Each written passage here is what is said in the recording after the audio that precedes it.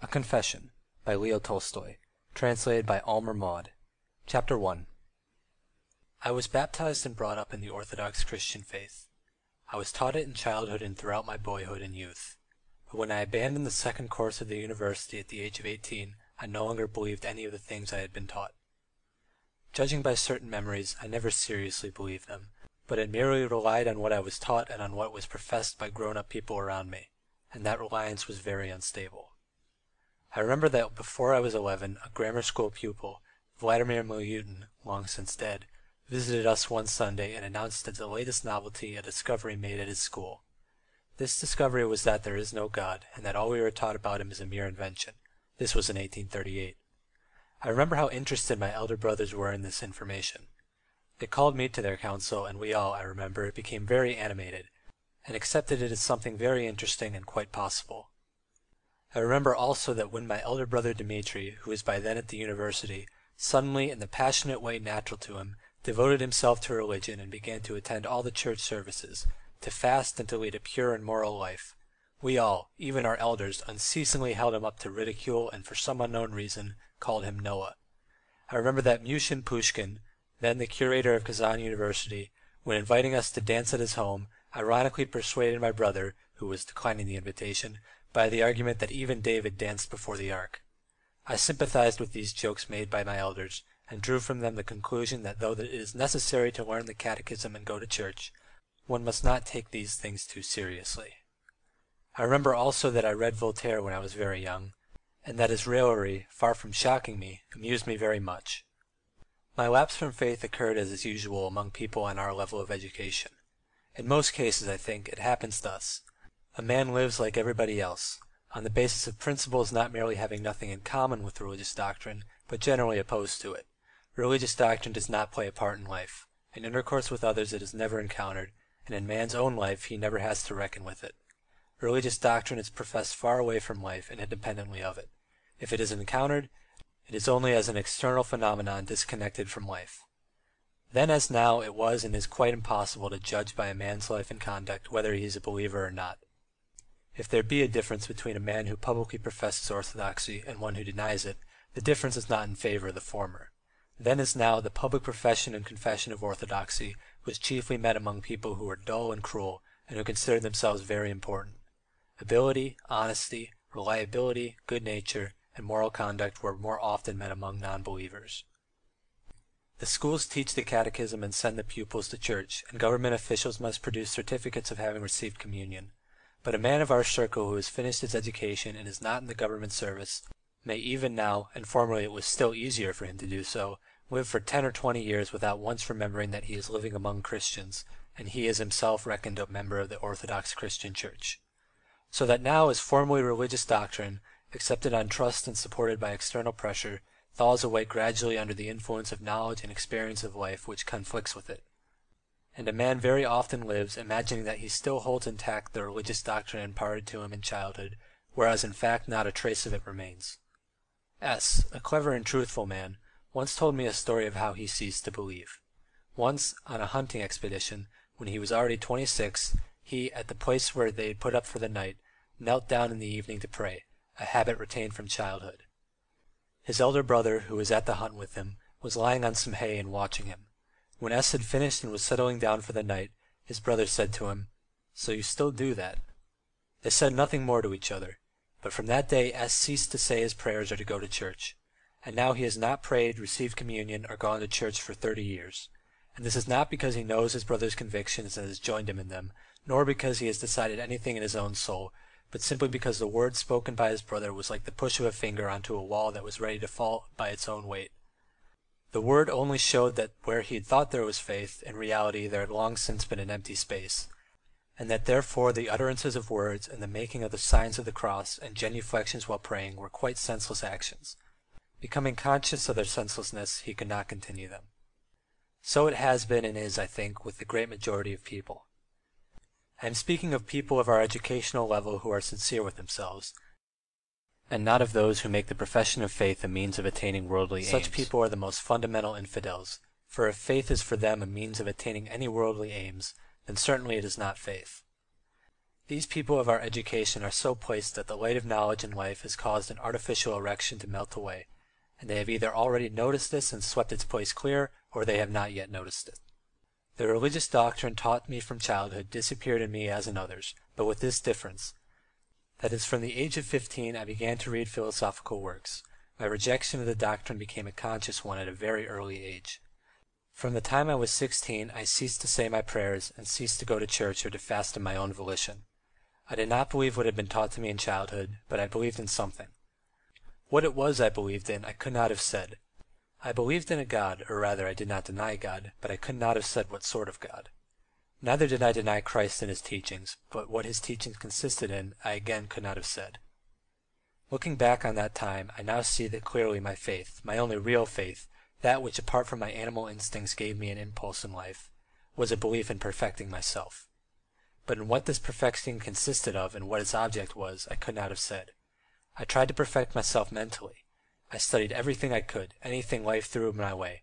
I tried to perfect my will. I drew up rules I tried to follow. I perfected myself physically, cultivating my strength and agility by all sorts of exercises, and accustoming myself to endurance and patience by all sorts of privations. And all this I considered to be the pursuit of perfection. The beginning of it all was, of course, moral perfection.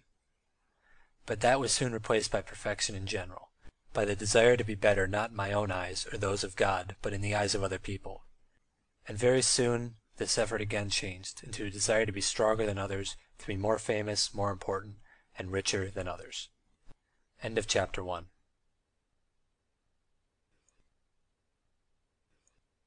Some day I will narrate the touching and instructive history of my life during those ten years of my youth. I think very many people have had a like experience. With all my soul I wished to be good, but I was young, passionate, and alone, completely alone, when I sought goodness. Every time I tried to express my most sincere desire, which was to be morally good, I met with contempt and ridicule, but as soon as I yielded to low passions, I was praised and encouraged. Ambition, love of power, covetousness, lasciviousness, pride, anger, and revenge were all respected. Yielding to those passions, I became like the grown-up folk and felt that they approved of me. The kind aunt with whom I lived, herself the purest of beings, always told me that there was nothing she so desired for me as that I should have relations with a married woman. Rien ne forme ou une homme comme una liaison avec une femme comme il faut. Another happiness she desired for me was that I should become an aide de camp, and if possible aide de camp to the Emperor. But the greatest happiness of all would be that I should marry a very rich girl, and so become possessed of as many serfs as possible. I cannot think of those years without horror, loathing, and heartache. I killed men in war and challenged men to duels in order to kill them. I lost at cards, consumed the labor of the peasants, sentenced them to punishments, lived loosely and deceived people. Lying, robbery, adultery of all kinds, drunkenness, violence, murder, there was no crime I did not commit, and in spite of that people praised my conduct and my contemporaries considered and consider me to be a comparatively moral man. So I lived for ten years.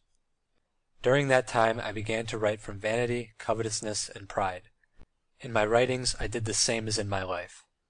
To get fame and money, for the sake of which I wrote, it was necessary to hide the good and to display the evil, and I did so. How often in my writings I contrived to hide under the guise of indifference or even of banter those strivings of mine towards goodness which gave meaning to my life, and I succeeded in this and was praised. At twenty six years of age I returned to Petersburg after the war and met the writers. They received me as one of themselves and flattered me. And before I had time to look round I had adopted the views on life of the set of authors I had come among, and these views completely obliterated all my former strivings to improve. They furnished a theory that justified the dissoluteness of my life. The view of life of these people, my comrades in authorship, consisted in this, that life in general goes on developing, and in this development we, men of thought, have the chief part, and among men of thought it is we, artists and poets, who have the greatest influence. Our vocation is to teach mankind. And lest the simple question should suggest itself, what do I know, and what can I teach, it was explained that in this theory it need not be known, that the artist and the poet teach unconsciously. I was considered an admirable artist and poet, and therefore it was very natural for me to adopt this theory. I, artist and poet, wrote and taught without myself knowing what. For this I was paid money. I had excellent food, lodging, women, and society, and I had fame, which showed that what I taught was very good. This faith in the meaning of poetry and in the development of life was a religion, and I was one of its priests. To be its priest was very pleasant and profitable, and I lived a considerable time in this faith without doubting its validity. But in the second and still more third year of this life I began to doubt the infallibility of this religion and to examine it. My first cause of doubt was that I began to notice that the priests of this religion were not at all in accord amongst themselves. Some said, we are the best and most useful teachers. We teach what is needed, but the others teach wrongly. Others said, No, we are the real teachers, and you teach wrongly. And they disputed, quarreled, abused, cheated, and tricked one another. There were also many among us who did not care who was right and who was wrong, but were simply bent on attaining their covetous aims by means of this activity of ours. All this obliged me to doubt the validity of our creed. Moreover, having begun to doubt the truth of the authors' creed itself, I also began to observe its priests more attentively, and I became convinced that almost all the priests of that religion, the writers, were immoral, and for the most part men of bad, worthless character, much inferior to those whom I had met in my former dissipated and military life, but they were self-confident and self-satisfied as only they can be who are quite holy or who do not know what holiness is. These people revolted me. I became revolting to myself, and I realized that that faith was a fraud. But strange to say, Though I understood this fraud and renounced it, yet I did not renounce the rank these people gave me, the rank of artist, poet, and teacher. I naively imagined that I was a poet and artist and could teach everybody, without myself knowing what I was teaching, and acted accordingly. From my intimacy with these men I acquired a new vice, abnormally developed pride and an insane assurance that it was my vocation to teach men without knowing what. To remember that time in my own state of mind, and that of those men, though there are thousands like them today, is sad and terrible and ludicrous, and arouses exactly the feeling one experiences in a lunatic asylum. We were all then convinced that it was necessary for us to speak, write, and print as quickly as possible, and as much as possible, and that it was all wanted for the good of humanity. And thousands of us, contradicting and abusing one another, all printed and wrote, teaching others, and without noticing that we knew nothing, and that to the simplest of life's questions, what is good and what is evil, we did not know how to reply. We all talked at the same time, not listening to one another, sometimes seconding and praising one another in order to be seconded and praised in turn, sometimes getting angry with one another, just like in a lunatic asylum. Thousands of workmen labored to the extreme limit of their strength day and night, setting the type and printing millions of words which the post carried all over Russia, and still we went on teaching, and could in no way find time to teach enough, and we were always angry that sufficient attention was not paid to us. It was terribly strange, but now it is quite comprehensible. Our real innermost concern was to get as much money and praise as possible. To gain that end we could do nothing except write books and papers. So we did that. But in order to get such useless work and to feel assured that we were very important people, we required a theory justifying our activity. And so among us this theory was devised. All that exists is reasonable, all that exists develops. And it all develops by the means of culture and culture is measured by the circulation of books and newspapers. And we are paid money and are respected because we write books and newspapers, and therefore we are the most useful and the best of men. This theory would have all been very well if we had been unanimous, but as every thought expressed by one of us was always met by diametrically opposite thought expressed by another, we ought to have been driven to reflection. But we ignored this. People paid us money, and those on our side praised us, so each of us considered himself justified. It is now clear to me that this was just as in a lunatic asylum, but then I only dimly suspected this, and like all lunatics, simply called all men lunatics except myself. End of chapter 2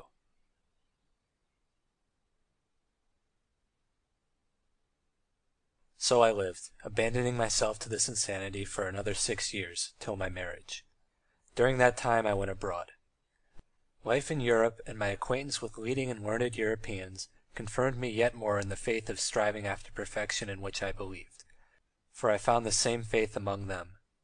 That faith took with me the common form it assumes with the majority of educated people of our day. It was expressed by the word progress. It then appeared to me that this word meant something. I did not as yet understand that, being tormented, like every vital man, by the question of how it is best for me to live. In my answer, live in conformity with progress, I was like a man in a boat who when carried along by wind and waves should reply to what for him is the chief and only question whither to steer, by saying, "We are being carried somewhere." I did not then notice this. Only occasionally, not by reason but by instinct, I revolted against this superstition so common in our day, by which people hide from themselves their lack of understanding of life. So, for instance, during my stay in Paris, the sight of an execution revealed to me the instability of my superstitious belief in progress. When I saw the head part from the body and how they thumped separately into the box, I understood, not with my mind but with my whole being, that no theory of the reasonableness of our present progress could justify this deed, and that though everybody from the creation of the world had held it to be necessary, on whatever theory, I knew it to be unnecessary and bad, and therefore the arbiter of what is good and evil is not the people who say and do, nor is it progress, but is my heart and I. Another instance of a realization that the superstitious belief in progress is insufficient as a guide of life was my brother's death. Wise, good, serious, he fell ill while still a young man, suffered for more than a year, and died painfully, not understanding why he had lived and still less why he had to die. No theories could give me or him any reply to these questions during his slow and painful dying. But these were only rare instances of doubt, and I actually continued to live, professing a faith only in progress.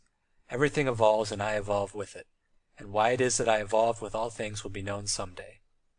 So I ought to have formulated my faith at the time. On returning from abroad I settled in the country and chanced to occupy myself with peasant schools. This work was particularly to my taste, because in it I had not to face the falsity which had been obvious to me and had stared me in the face when I tried to teach the people by literary means. Here also I acted in the name of progress, but I already regarded progress itself critically. I said to myself, in some of its developments progress has proceeded wrongly, and with primitive peasant children one must deal in a spirit of perfect freedom, letting them choose what path of progress they please. In reality I was ever revolving round one and the same insolvable problem, which was, how to teach without knowing what to teach. In the higher spheres of literary activity I realized that one could not teach without knowing what, for I saw that people all taught differently, and by quarrelling among themselves only succeeded in hiding their ignorance from one another. But here, with peasant children, I thought to evade this difficulty by letting them learn what they liked. It amuses me now when I remember how I shuffled in trying to satisfy my desire to teach, while in the depth of my soul I knew very well that I could not teach anything needful, for I did not know what was needful. After spending a year at school work, I went abroad a second time to discover how to teach others while myself knowing nothing. And it seemed to me that I had learned this abroad, and in the year of the peasants' emancipation, 1861, I returned to Russia armed with all this wisdom, and having become an arbiter I began to teach, both the uneducated peasants in schools and the educated classes through a magazine I published. Things appeared to be going well, but I felt I was not quite sound mentally, and that matters could not long continue in that way. I should perhaps then have come to the state of despair I reached fifteen years later, had there not been one side of life still unexplored by me, which promised me happiness. That was my marriage. For a year I busied myself with arbitration work, the schools, and the magazine and I became so worn out as a result especially of my mental confusion, and so hard was my struggle as arbiter, so obscure the results of my activity in the schools, so repulsive my shuffling in the magazine, which always amounted to one and the same thing, a desire to teach everybody and to hide the fact that I did not know what to teach, that I felt ill, mentally rather than physically, threw up everything and went away to the bashkirs in the steppes, to breathe fresh air, drink kumis, and live a merely animal life. Returning from there I married. The new conditions of happy family life completely diverted me from all search for the general meaning of life. My whole life was centered at that time in my family, wife and children, and therefore in care to increase our means of livelihood. My striving after self-perfection, for which I had already substituted a striving for perfection in general, i.e. progress, was now again replaced by the effort simply to secure the best possible conditions for myself and my family. So another fifteen years passed. In spite of the fact that I now regarded authorship as of no importance, the temptation of immense monetary rewards and the applause for my insignificant work, and I devoted myself to it as a means of improving my material position, or of stifling in my soul all questions as to the meaning of my own life or life in general. I wrote, teaching what was for me the only truth, namely that one should live so as to have the best for oneself and one's family. So I lived, but five years ago something very strange began to happen to me. At first I experienced moments of perplexity and arrest of life, as though I did not know what to do or how to live, and I felt lost and became dejected. But this passed and I went on living as before. Then these moments of perplexity began to recur oftener and oftener, and always in the same form. They were always expressed by the questions, What is it for? What does it lead to? At first it seemed to me that these were aimless and irrelevant questions. I thought that it was all well known, that if I should ever wish to deal with a solution it would not cost me much effort. Just at present I had no time for it, but when I wanted to I should be able to find the answer. The questions, however, began to repeat themselves more frequently, and to demand replies more and more insistently, and like drops of ink always falling on one place, they ran together into one black blot. Then occurred what happens to everyone sickening with a mortal internal disease. At first, trivial signs of indisposition appear to which the sick man pays no attention. Then these signs reappear more and more often and merge into one uninterrupted period of suffering. The suffering increases, and before the sick man can look round, what he took for a mere indisposition has already become more important to him than anything else in the world. It is death. That is what happened to me. I understood that it was no casual indisposition, but something very important and that if these questions constantly repeated themselves, they would have to be answered. And I tried to answer them. The questions seemed such stupid, simple, childish ones, but as soon as I touched them and tried to solve them, I at once became convinced, first that they are not childish and stupid, but the most important and profound of life's questions, and secondly, that occupying myself with my Samara estate, the education of my son, or the writing of a book, I had to know why I was doing it. As long as I did not know why, I could do nothing and could not live. Amid the thoughts of estate management which greatly occupied me at that time, the question would suddenly occur: Well, you will have six thousand desyatinas of land in the Samara government and three hundred horses, and what then? And I was quite disconcerted and did not know what to think. Or when considering plans for the education of my children, I would ask myself, What for? Or when considering how the peasants might become prosperous, I would suddenly say to myself, But what does it matter to me? Or when thinking of the fame my works would bring me, I would say to myself, Very well, you will be more famous than Gogol or Pushkin or Shakespeare or Moliere, or than all the writers in the world, and what of it? And I could find no reply at all. The questions would not wait, they had to be answered at once, and if I did not answer them it was impossible to live, but there was no answer. I felt that what I had been standing on had collapsed, and that I had nothing left under my feet. What I had lived on no longer existed, and there was nothing left. End of chapter 3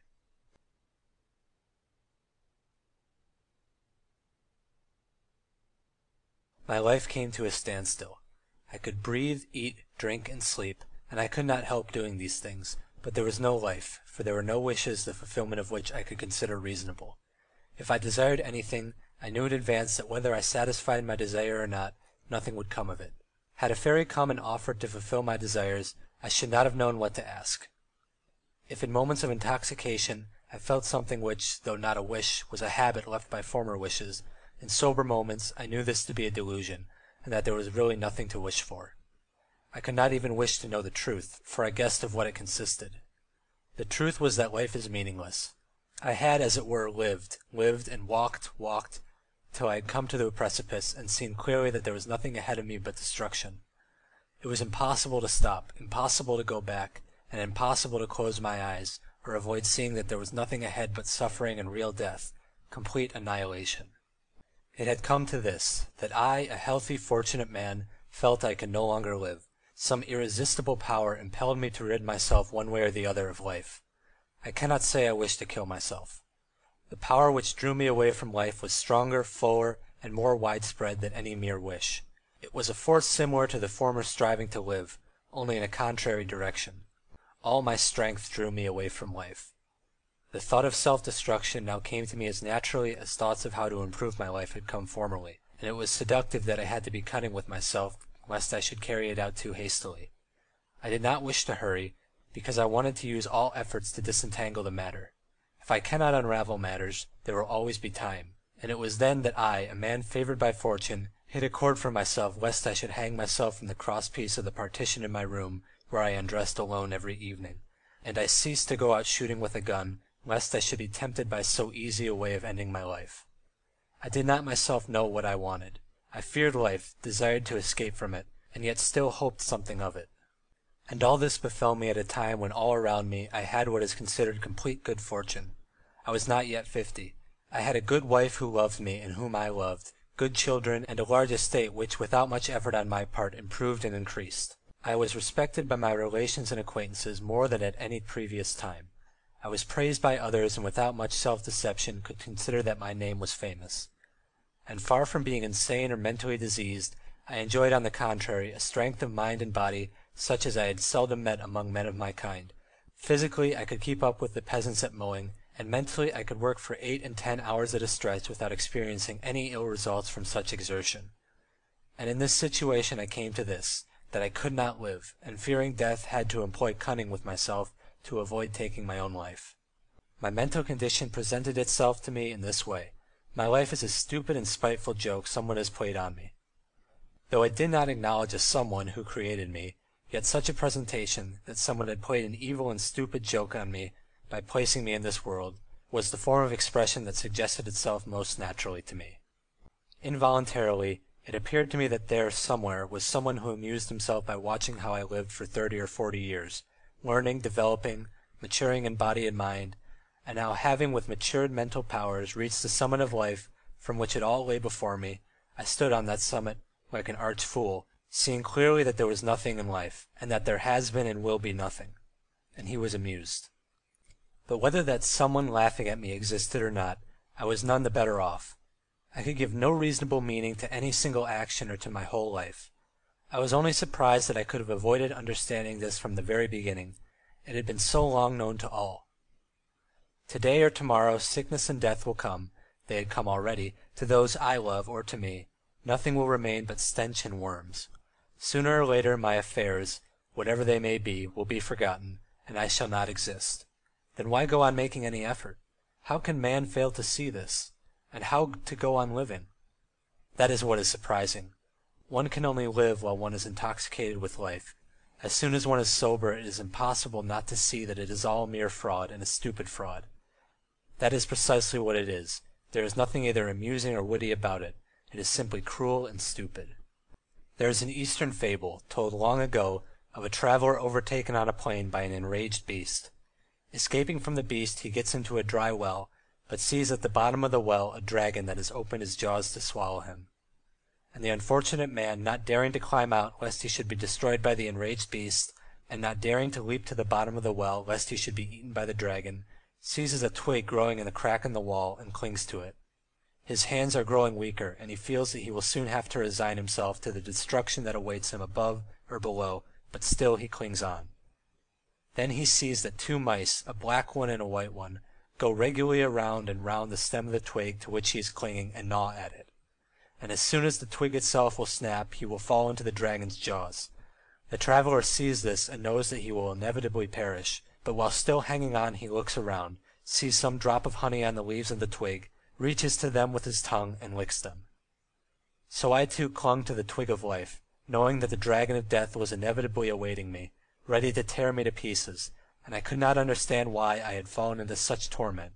I tried to lick the honey which formerly consoled me, but the honey no longer gave me pleasure, and the white and black mice of day and night gnawed at the branch by which I hung. I saw the dragon clearly, and the honey no longer tasted sweet. I only saw the inescapable dragon and the mice, and I could not tear my gaze from them. And this is not a fable, but the real unanswerable truth intelligible to all. The deception of the joys of life which formerly allayed my terror of the dragon now no longer deceived me. No matter how often I may be told, you cannot understand the meaning of life, so do not think about it but live, I can no longer do it. I have already done it too long. I cannot now help seeing day and night going round, and bringing me to death. That is all I see, for that alone is true. All else is false. The two drops of honey which diverted my eyes from the cruel truth longer than the rest, my love of family and of writing, art as I called it, were no longer sweet to me. Family, I said to myself. But my family, wife and children are also human. They are placed just as I am. They must either live in a lie or see the terrible truth. Why should they live? Why should I love them, guard them, bring them up, or watch them? That they may come to the despair that I feel, or else be stupid? Loving them, I cannot hide the truth from them. Each step in knowledge leads them to the truth, and the truth is death. Art? Poetry? Under the influence of success and the praise of men, I had long assured myself that this was the thing one could do though death was drawing near, death which destroys all things, including my work and its remembrance. But soon I saw that it too was a fraud. It was plain to me that art is an adornment of life, an allurement to life. But life had lost its attraction for me, so how could I attract others? As long as I was not living my own life, but was borne on the waves of some other life, as long as I believed that life had a meaning, though one I could not express, the reflection of life in poetry and art of all kinds afforded me pleasure.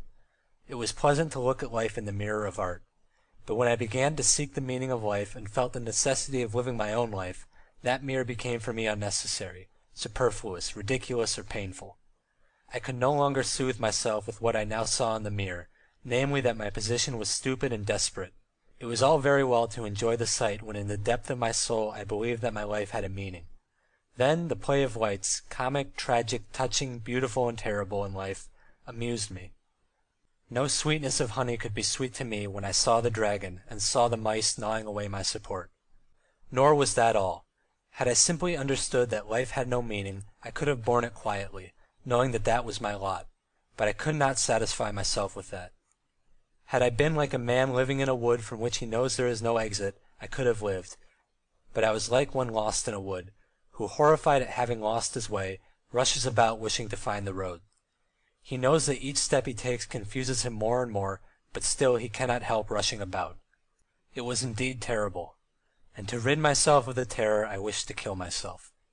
I experienced terror at what awaited me, knew that the terror was even worse than the position I was in, but still I could not patiently await the end.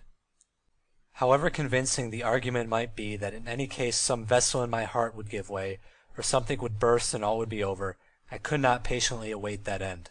The horror of darkness was too great, and I wished to free myself of it as quickly as possible by noose or bullet. That was the feeling which drew me most strongly towards suicide. End of chapter 4 But perhaps I have overlooked something, or misunderstood something, I said to myself several times. It cannot be that this condition of despair is natural to man. And I sought for an explanation of these problems in all the branches of knowledge acquired by man not from idle curiosity or listlessly, but painfully and persistently, day and night, sought as a perishing man seeks for safety, and I found nothing. I sought in all the sciences, but far from finding what I wanted, became convinced that all who like myself had sought knowledge for the meaning of life had found nothing. And not only had they found nothing, but they had plainly acknowledged that the very thing which made me despair, namely the senselessness of all life, is the one indubitable thing that man cannot know. I sought everywhere, and thanks to a life spent in learning, and thanks also to my relations with the scholarly world, I had access to scientists and scholars in all branches of knowledge, and they readily showed me all their knowledge, not only in books but also in conversation, so that I had at my disposal all that science has to say on this question of life. I was long unable to believe that it gives no other reply to life's questions than that which it actually does give. It long seemed to me, when I saw the important and serious air with which science announces its conclusions which have nothing in common with the real questions of human life, that there was something I had not understood. I long was timid before science, and it seemed to me that the lack of conformity between the answers and my questions arose not by the fault of science, but from my own ignorance. But the matter was for me not a game or an amusement, but one of life and death and I was involuntarily brought to the conviction that my questions were the only legitimate ones, forming the basis of all knowledge, and that I with my questions was not to blame, but science if it pretends to reply to those questions. My question, that which at the age of fifty brought me to the verge of suicide, was the simplest of questions, lying in the soul of every man from the foolish child to the wisest elder. It was a question without an answer to which one cannot live, as I had found by experience. It was, what will come of what I am doing today or shall do tomorrow? What will come of my whole life? Differently expressed, the question is, why should I live? Why wish for anything, or do anything? It can also be expressed thus, is there any meaning in my life that the inevitable death awaiting me does not destroy? To this one question, variously expressed, I sought an answer in science, and I found that in relation to that question all human knowledge is divided as it were into two opposite hemispheres at the end of which there are two poles, the one the negative and the other a positive, but that neither at the one pole nor the other is the answer to life's questions. The one series of sciences seems not to recognize the question, but replies clearly and exactly to its own independent questions. This is the series of experimental sciences. At the extreme end of it stands mathematics. The other series of sciences recognizes the question but does not answer it. That is the series of abstract sciences. At the extreme end of it stands metaphysics. From early youth I had been interested in the abstract sciences, but later the mathematical and natural sciences attracted me, and until I put my question definitely to myself, until that question itself had grown up within me urgently demanding a decision, I contented myself with those counterfeit answers which science gives. Now in the experimental sphere I said to myself, everything develops and differentiates itself, moving towards complexity and perfection, and there are laws directing this movement. You are part of a whole. Having learnt as far as possible the whole, and having learnt the law of evolution, you will understand also your place in the whole and will know yourself. Ashamed as I am to confess it, there was a time when I seemed satisfied with that. It was just the time when I was myself becoming more complex and was developing. My muscles were growing and strengthening, my memory was being enriched, my capacity to think and understand was increasing. I was growing and developing, and feeling this growth in myself, it was natural for me to think that such was the universal law in which I should find the solution of the question of my life. But a time came when the growth within me ceased. I felt that I was not developing, but fading, my muscles were weakening, my teeth falling out, and I saw that the law not only did not explain anything to me, but that there had never been nor could be such a law, and that I had taken for a law what I had found in myself at a certain period in my life. I regarded the definition of that law more strictly, and it became clear to me that there could be no law of endless development. It became clear that to say in infinite space and time everything develops, becomes more perfect and more complex, is differentiated, is to say nothing at all. These are words with no meaning, for in the infinite there is neither complex nor simple, neither forward nor backward, nor better nor worse. Above all, my personal question, what am I with my desires, remained quite unanswered. And I understood that those sciences are very interesting and attractive, but that they are exact and clear in inverse proportion to their applicability to the question of life. The less their applicability to the question of life, the more exact and clear they are, while the more they try to reply to the question of life, the more obscure and unattractive they become. If one turns to the division of sciences which attempts to reply to the questions of life, to physiology, psychology, biology, sociology, one encounters an appalling poverty of thought, the greatest obscurity, a quite unjustifiable pretension to solve irrelevant questions, and a continual contradiction of each authority by others and even by himself.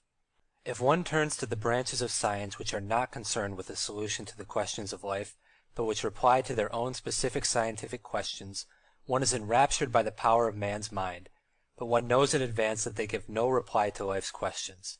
Those sciences simply ignore life's questions. They say, to the question of what you are and why you live we have no reply, and are not occupied with that. But if you want to know the laws of light, of chemical compositions, of the laws of development of organisms, if you want to know the laws of bodies and their form, and the relation of numbers and quantities, if you want to know the laws of your mind, to all of that we have clear, exact, and unquestionable replies. In general, the relation of the experimental sciences to life's question may be expressed thus. Question. Why do I live? Answer.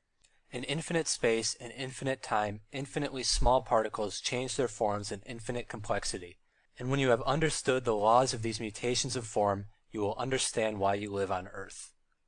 Then in the sphere of abstract science, I said to myself, all humanity lives and develops on the basis of spiritual principles and ideals which guide it. Those ideals are expressed in religions, in sciences, in arts, and in forms of government. Those ideals become more and more elevated, and humanity advances to the highest welfare. I am part of humanity, and therefore my vocation is to forward the recognition and the realization of the ideals of humanity. And at the time of my weak-mindedness I was satisfied with that, but as soon as the question of life presented itself clearly to me, those theories immediately crumbled away not to speak of the unscrupulous obscurity with which those sciences announce conclusions formed on the study of a small part of mankind as general conclusions, not to speak of the mutual contradictions of different adherents of this view as to what the ideals of humanity are, The strangeness, not to say stupidity, of the theory consists in the fact that in order to reply to the question facing each man, What am I? or Why do I live? or What must I do? one must first decide the question, What is the life of the whole, which is to him unknown and of which he is acquainted with one tiny part in one minute of time? To understand what he is, one man must first understand all this mysterious humanity, consisting of people such as himself, who do not understand one another. I have to confess that there was a time when I believed this. It was the time when I had my own favourite ideals justifying my own caprices, and I was trying to devise a theory which would allow one to consider my caprices as the laws of humanity. But as soon as the question of life arose in my soul in full clearness, that reply at once fell to dust. And I understood that as in the experimental sciences, there are real sciences and semi-sciences which try to give answers to questions beyond their competence. So in this sphere there is a whole series of the most diffuse sciences which try to reply to irrelevant questions. Semi-sciences of that kind, the juridical and social historical, endeavor to solve the questions of man's life by pretending to decide each in its own way, the questions of the life of all humanity. But as in the sphere of man's experimental knowledge, one who sincerely inquires how he is to live cannot be satisfied with the reply, study in endless space the mutations, infinite in time and in complexity, of innumerable atoms, and then you will understand your life.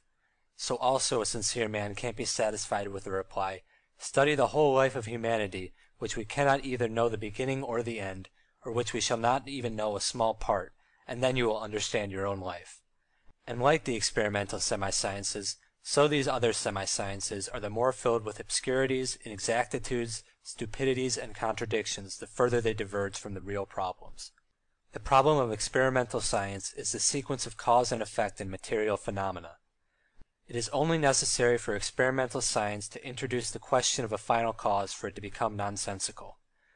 The problem of abstract science is the recognition of the primordial essence of life.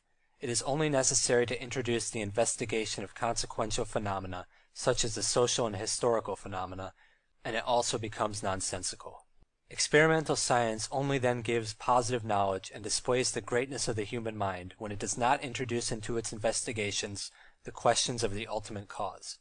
And on the contrary, abstract science is only then science and displays the greatness of the human mind when it can put quite aside the questions relating to the consequential causes of phenomena and regards man solely in relation to the ultimate cause. Such in this realm of science, forming the pole of the sphere, is metaphysics or philosophy. That science states the question clearly. What am I and what is the universe? And why do I exist and why does the universe exist? And since it has existed, it has always replied in the same way. Whether the philosopher calls the essence of life existing within me, and all that exists by the name of idea or substance or spirit or will, he says one and the same thing, that this essence exists and that I am of the same essence, but why it is he does not know and does not say. If he is an exact thinker, I ask, why should this essence exist? What results from the fact that it is and will be? And philosophy not merely does not reply, but is itself only asking that question.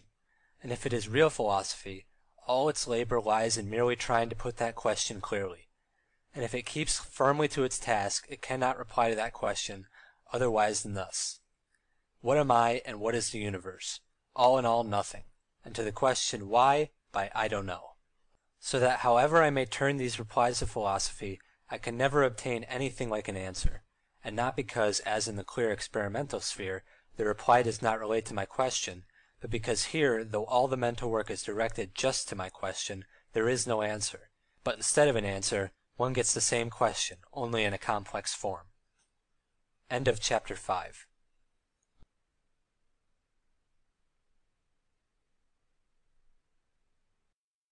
In my search for answers to life's questions, I experience just what is felt by a man lost in a forest. He reaches a glade, climbs a tree, and clearly sees the limitless distance, but sees that his home is not and cannot be there, and he goes into the dark wood and sees darkness, but there also his home is not. So I wandered in that wood of human knowledge, amid the gleams of mathematical and experimental science, which showed me clear horizons but in a direction where there could be no home, and also amid the darkness of abstract sciences, where I was immersed in a deeper gloom the further I went, and where I finally convinced myself that there was and could be no exit. Yielding myself to the bright side of knowledge, I understood that I was only diverting my gaze from the question. However alluringly clear those horizons which opened before me might be, however alluring it might be to immerse oneself in the limitless expanse of those sciences, I also understood that the clearer they were, the less they met my need, and the less they applied to my question. I know, I said to myself, what science so persistently tries to discover, and along that road there is no reply to the question as to the meaning of my life. In the abstract sphere I understood that notwithstanding the fact, or just because of the fact, that the direct aim of science is to reply to my question, there is no reply but that which I myself had been given. What is the meaning of my life? There is none. Or, what will come of my life? Nothing. Or, why does everything exist that exists, and why do I exist? Because it exists. Inquiring for one region of human knowledge, I received an innumerable quantity of exact replies concerning matters about which I had not asked, about the chemical constituents of the stars, about the movements of the sun toward the constellation Hercules, about the origin of species and of man, about the forms of infinitely minute, imponderable particles of ether, but in this sphere of knowledge the only answer to my question, what is the meaning of my life, was, you are what you call your life. You are a transitory, casual cohesion of particles. The mutual interactions and changes of these particles produce in you what you call your life. That cohesion will last some time. Afterwards the interaction of these particles will cease, and what you call life will cease, and so will all your questions. You are an accidentally united little lump of something. That little lump ferments. The little lump calls that fermenting its life. The lump will disintegrate, and there will be an end to the fermenting, and of all the questions. So answers the clear side of science, and cannot answer otherwise if it strictly follows its principles. From such a reply one sees that the reply does not answer the question. I want to know the meaning of my life, but that it is a fragment of the infinite, far from giving a meaning, destroys every possible meaning. The obscure compromises which that side of the experimental exact science makes with the abstract science when it says that the meaning of life consists in development and cooperation with development, owing to their inexactness and obscurity, cannot be considered as replies. The other side of science, the abstract side, when it holds strictly to its principles, replying directly to the question, and in all ages has replied, in one and the same way. The world is something infinite, an incomprehensible part of that incomprehensible all. Again, I exclude all those compromises between abstract and experimental sciences which supply the whole ballast of the semi-sciences called juridical, political, and historical.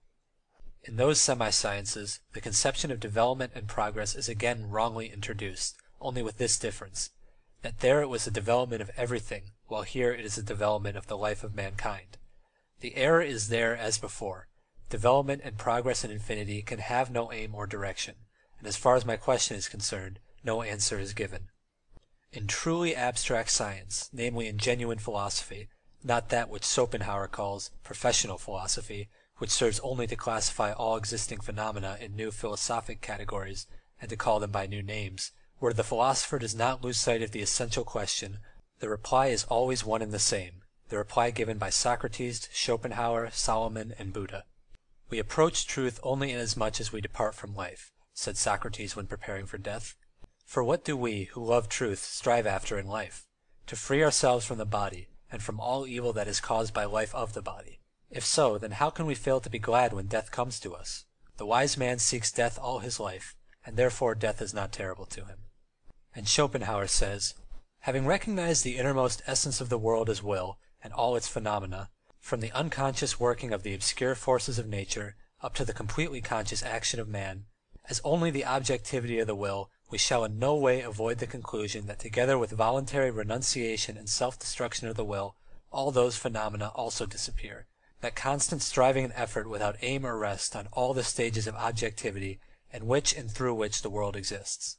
The diversity of successive forms will disappear, and together with the form all the manifestations of the will, with its most universal forms, space and time, and finally the most fundamental form, subject and object.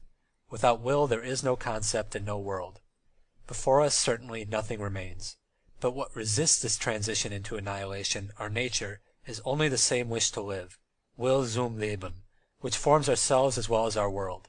That we are so afraid of annihilation, or what is the same thing, that we so wish to live, merely means that we are ourselves nothing but this desire to live, and know nothing but it. And so what remains after the complete annihilation of the will, for us who are so full of the will, is of course nothing. But on the other hand, for those in whom the will has turned and renounced itself, This so real world of ours with all its suns and Milky Way is nothing. Vanity of vanities, says Solomon, vanity of vanities, all is vanity. What profit hath a man of all his labour which he taketh under the sun? One generation passeth away, and another generation cometh, but the earth abideth for ever. The thing that hath been is that which shall be, and that which is done is that which shall be done, and there is no new thing under the sun. Is there anything whereof it may be said, See, this is new?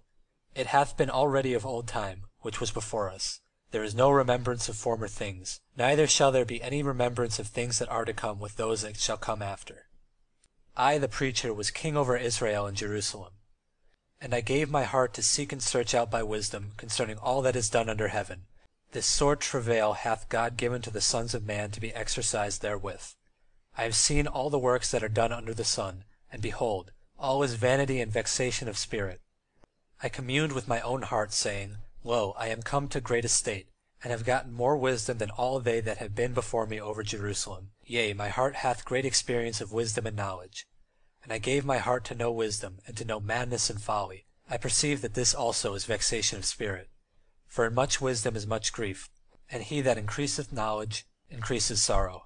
I said in my heart, Go to now, I will provide thee with mirth, and therefore enjoy pleasure, and behold this also is vanity. I said of laughter, It is mad, and of mirth, What doeth it? I sought in my heart how to cheer my flesh with wine, and while my heart was guided by wisdom, to lay hold on folly, till I might see what it was good for the sons of men that they should do under heaven the number of days of their life. I made me great works, I built me houses, I planted me vineyards, I made me gardens and orchards, and I planted trees in them of all kinds of fruits. I made me pools of water, to water there from the forest where trees were reared. I got me servants and maidens, and had servants born in my house. Also I had great possessions of herds and flocks above all that were before me in Jerusalem. I gathered me also silver and gold, and the peculiar treasure from kings and from the provinces. I got me men singers and women singers, and the delights of the sons of men, as musical instruments and all that of all sorts. So I was great, and increased more than all that were before me in Jerusalem. Also my wisdom remained with me. And whatever mine eyes desired I kept not from them. I withheld not my heart from any joy.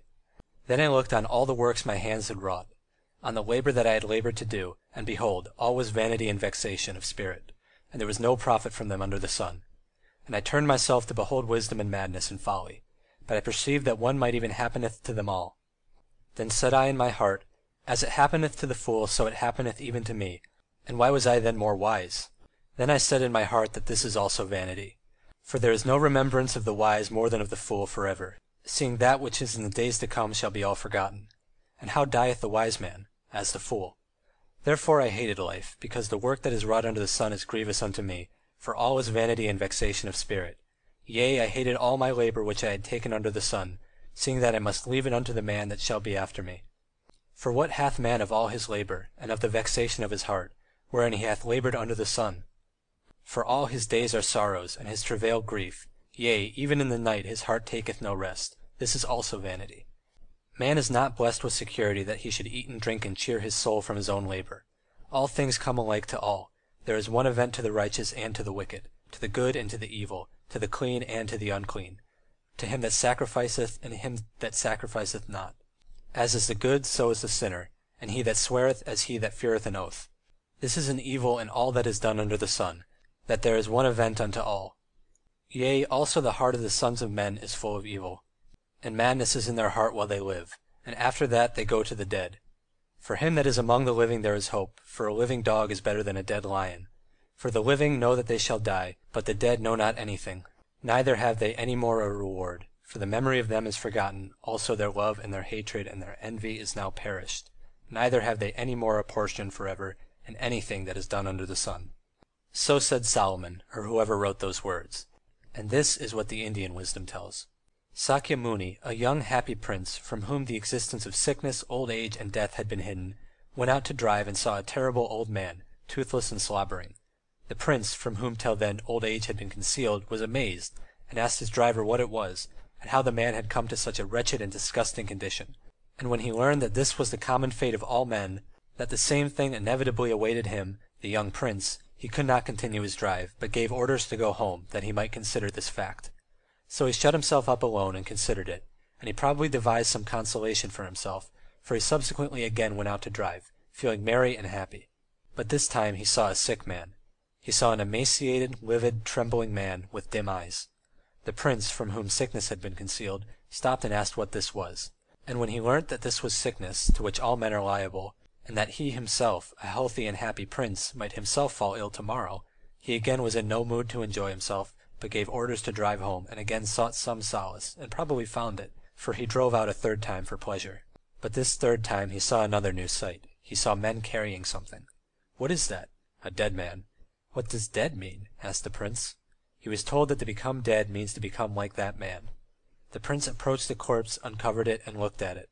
What will happen to him now? asked the prince. He was told that the corpse would be buried in the ground. Why? Because he will certainly not return to life, and will only produce a stench and worms.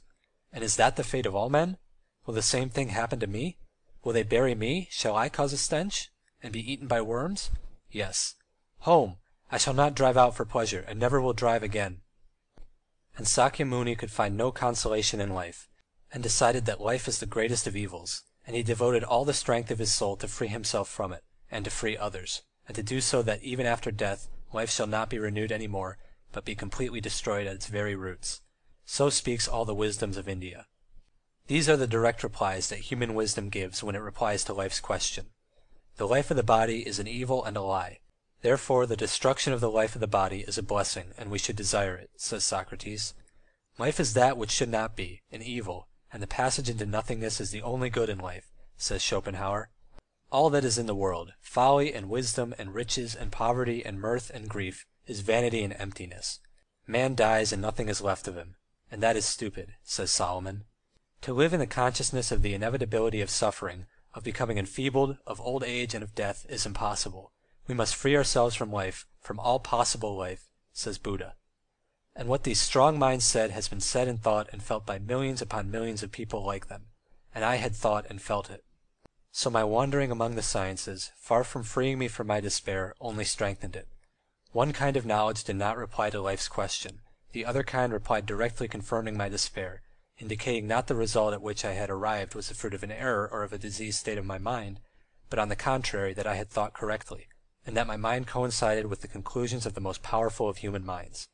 It is no good deceiving oneself. It is all vanity. Happy is he who has not been born. Death is better than life and one must free oneself from life. End of chapter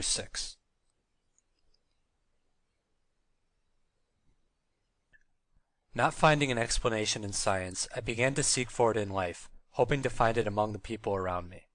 And I began to observe how the people around me, people like myself, lived, and what their attitude was to this question which had brought me to despair.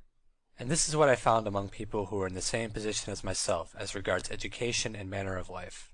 I found that for people in my circle there are four ways out of the terrible position in which we are all placed. The first was that of ignorance.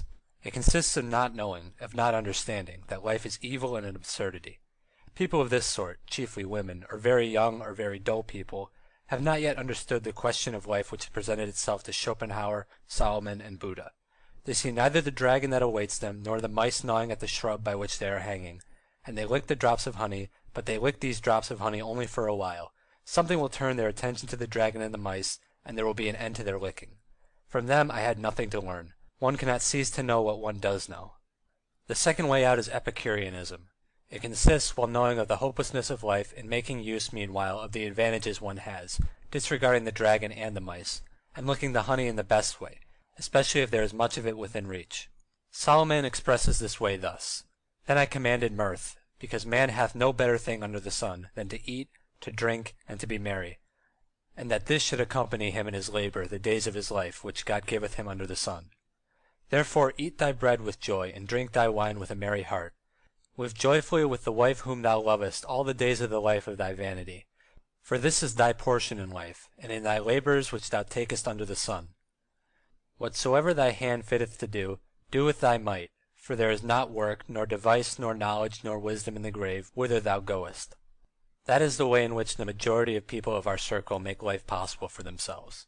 Their circumstances furnish them with more welfare than of hardship, and their moral dullness makes it possible for them to forget that the advantage of their position is accidental, and that not everyone can have a thousand wives and palaces like Solomon. and that for everyone who has a thousand wives there are a thousand without a wife, and that for every palace there are a thousand people who have to build it in the sweat of their brows, and that the accident that has today made me a Solomon may tomorrow make me Solomon's slave. The dullness of these people's imagination enables them to forget the things that gave Buddha no peace, the inevitability of sickness, old age, and death, which today or tomorrow will destroy all these pleasures. So think and feel the majority of people of our day and our manner of life.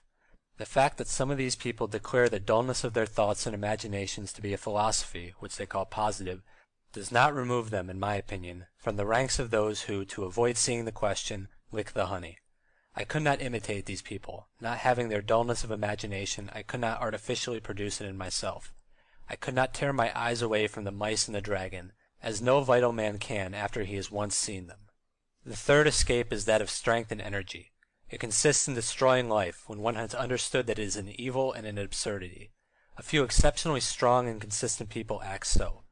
Having understood the stupidity of the joke that has been played on them, and having understood that it is better to be dead than to be alive, and that it is best of all not to exist, they act accordingly and promptly end this stupid joke, since there are means a rope round one's neck, water and a knife to stick in one's heart, or the trains on a railway.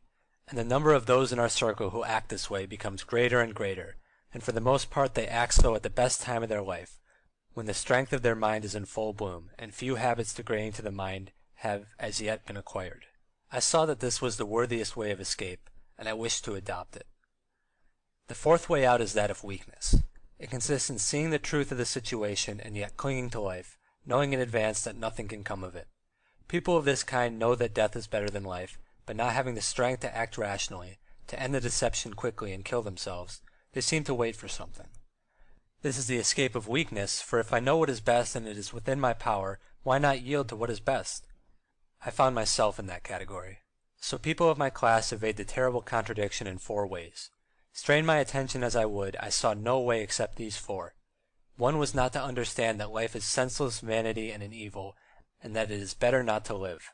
I could not help knowing this, and when I once knew that I could not shut my eyes to it, the second way was to use life such as without thinking to the future, and I could not do that. I, like Sakyamuni, could not ride out hunting when I knew that old age, suffering, and death exist. My imagination was too vivid. Nor could I rejoice in the momentary accidents that for an instant threw pleasure to my lot. The third way, having understood that life is evil and stupid, was to end it by killing oneself. I understood that, but somehow still did not kill myself.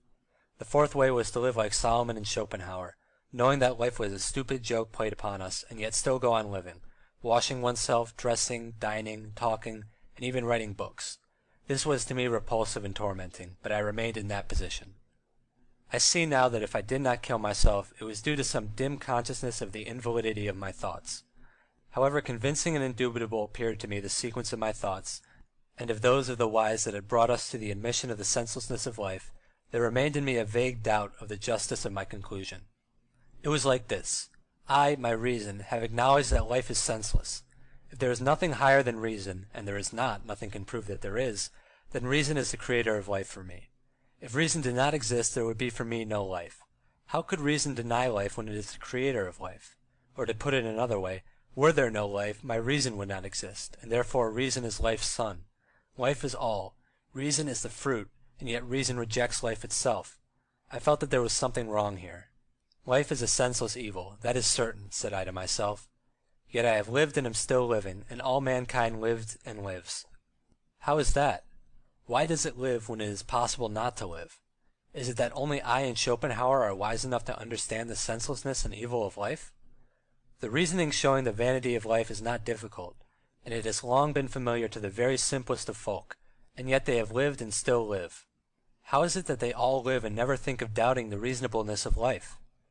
My knowledge, confirmed by the wisdom of the sages, has shown me that everything on earth, organic and inorganic, is all the most cleverly arranged, only my own position is stupid. And these fools, the enormous masses of people, know nothing about how everything organic and inorganic in the world is arranged. But they live, and it seems to them that their life is very wisely arranged. And it struck me. But what if there is something I do not yet know? Ignorance behaves just in this way. Ignorance always says just what I am saying. When it does not know something, it says that what it does not know is stupid. Indeed, it appears that there is a whole humanity that lived and lives as if understanding the meaning of life, for without understanding it could not live, but I say that all life is senseless and that I cannot live. Nothing prevents our denying life by suicide. Well then kill yourself, and you won't discuss. If life displeases you, kill yourself. You live and cannot understand the meaning of life, then finish it. Do not fool about in life, saying and writing that you do not understand it. You have come into good company where people are contented and know what they are doing. If you find that dull and repulsive, go away. Indeed, what are we who are convinced of the necessity of suicide and yet do not commit it, but the weakest, most inconsistent, and to put it plainly, the stupidest of men, fussing about with our own stupidity as a fool fusses about with a painted hussy? For our wisdom, however indubitable it may be, has not given us the knowledge of the meaning of our life. But all mankind who sustain life, millions of them, do not doubt the meaning of life.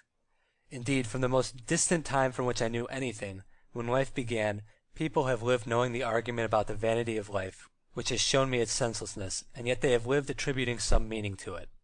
From the time when any life began among men, they had that meaning of life, and they led that life which descended to me. All that is in me and around me, all, corporeal and incorporeal, is the fruit of their knowledge of life. Those very instruments of thought with which I consider this life and condemn it were all devised not by me, but by them. I myself was born, taught, and brought up thanks to them. They dug out the iron, taught us to cut down the forests, tame the cows and the horses, taught us to sow corn and to live together, organized our life, taught me to think and speak, and I, their product, fed, supplied with drink, taught by them, thinking with their thoughts and words, have argued that they are an absurdity. There is something wrong, said I to myself. I have blundered somewhere, but it was a long time before I could find out what that mistake was. End of chapter 7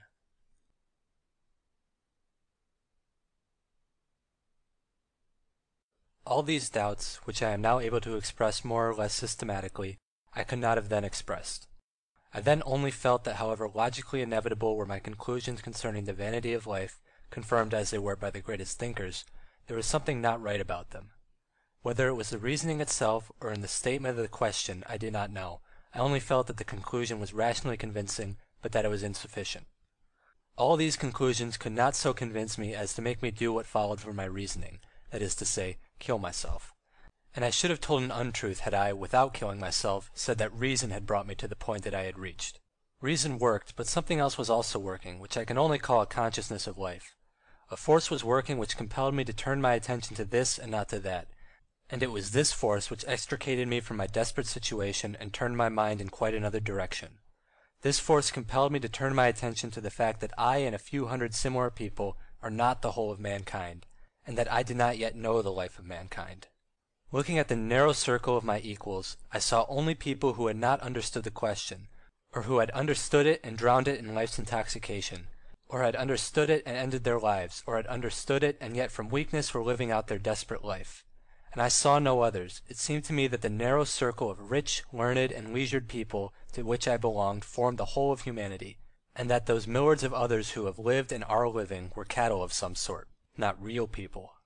Strange, incredibly incomprehensible as it now seems to me that I could, while reasoning about life, overlook the whole life of mankind that surrounded me on all sides that I could to such a degree blunder so absolutely as to think that my life and Solomon's and Schopenhauer's is the real, normal life, and that the life of the milliards is a circumstance undeserving of attention. Strange as this is now to me, I see that so it was.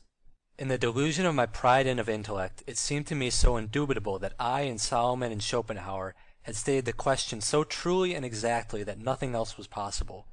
So indubitable did it seem that all those milliards consisted of men who had not yet arrived at an apprehension of all the profundity of the question, that I sought for the meaning of my life without it once occurring to me to ask, but what meaning is and has been given to their lives by all the milliards of common folk who live and have lived in the world?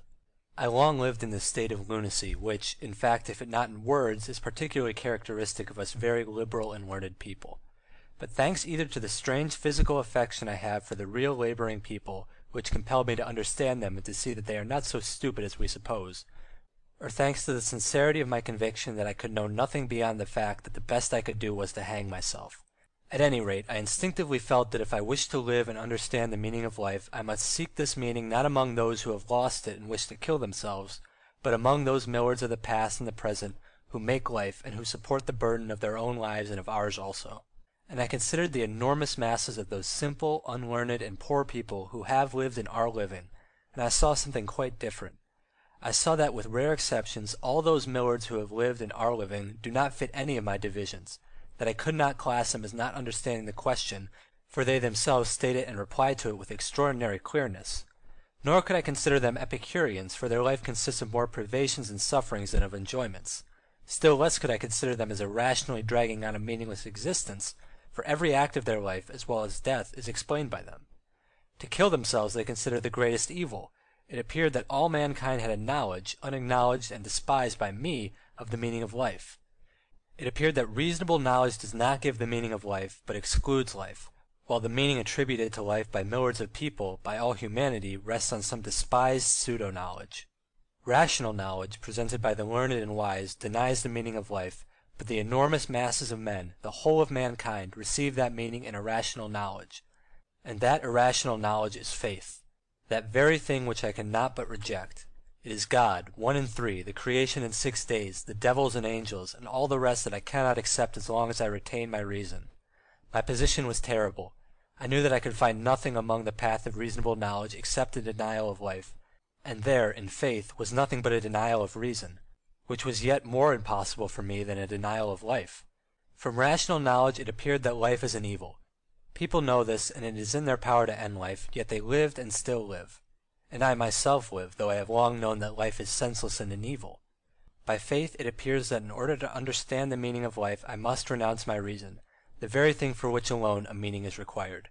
End of chapter 8.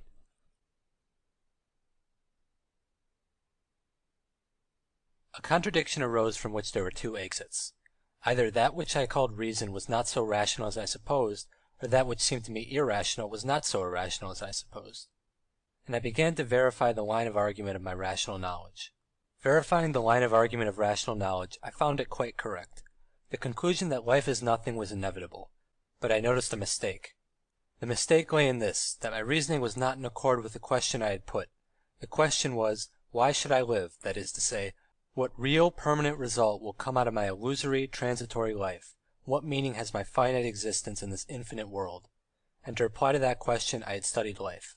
The solution of all the possible questions of life could evidently not satisfy me, for my question, simple as it first appeared, included a demand for an explanation of the finite in terms of the infinite, and vice versa.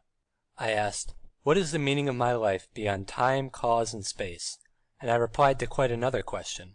What is the meaning of my life within time, cause, and space? With the result that, after a long effort of thought, the answer I reached was none. In my reasonings I constantly compared, nor could I do otherwise, the finite with the finite, and the infinite with the infinite, but for that reason I reached the inevitable result. Force is force, matter is matter, will is will, the infinite is the infinite, nothing is nothing, and that was all that could result. It was something like what happens in mathematics when thinking to solve an equation we find we are working on an identity. The line of reasoning is correct, but the result is the answer that a equals a, or x equals x, or 0 equals 0. The same thing happened with my reasoning in relation to the question of the meaning of my life. The reply given by all science to the question only resulted in identity.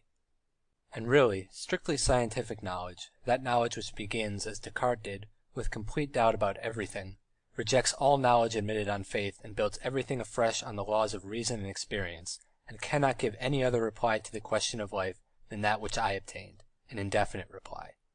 Only at first had it seemed to me that knowledge had given a positive reply, the reply of Schopenhauer, that life has no meaning and is an evil. But on examining the matter I understood that the reply is not positive. It was only my feeling that so expressed it. Strictly expressed, as it is by Brahmans and by Solomon and Schopenhauer, the reply is merely indefinite, or an identity. Null equals null. Life is nothing. So that philosophic knowledge denies nothing, but only replies that the question cannot be solved by it, that for it the solution remains indefinite. Having understood this, I understood that it was not possible to seek in rational knowledge for a reply to my question, and that the reply given by rational knowledge is a mere indication that a reply can only be obtained by a different statement of the question and only when the relation of the finite to the infinite is included in that question. And I understood that however irrational and distorted might be the replies given by faith, they have this advantage, that they introduce into every answer a relation between the finite and the infinite, without which there can be no solution. In whatever way I stated the question, that relation appeared in the answer. How am I to live? According to the law of God. What real result will come of my life? Eternal torment or eternal bliss? What meaning has life that death does not destroy? Union with the eternal God, heaven. So that besides rational knowledge, which had seemed to me the only knowledge, I was inevitably brought to acknowledge that all live humanity has another irrational knowledge, faith, which makes it possible to live.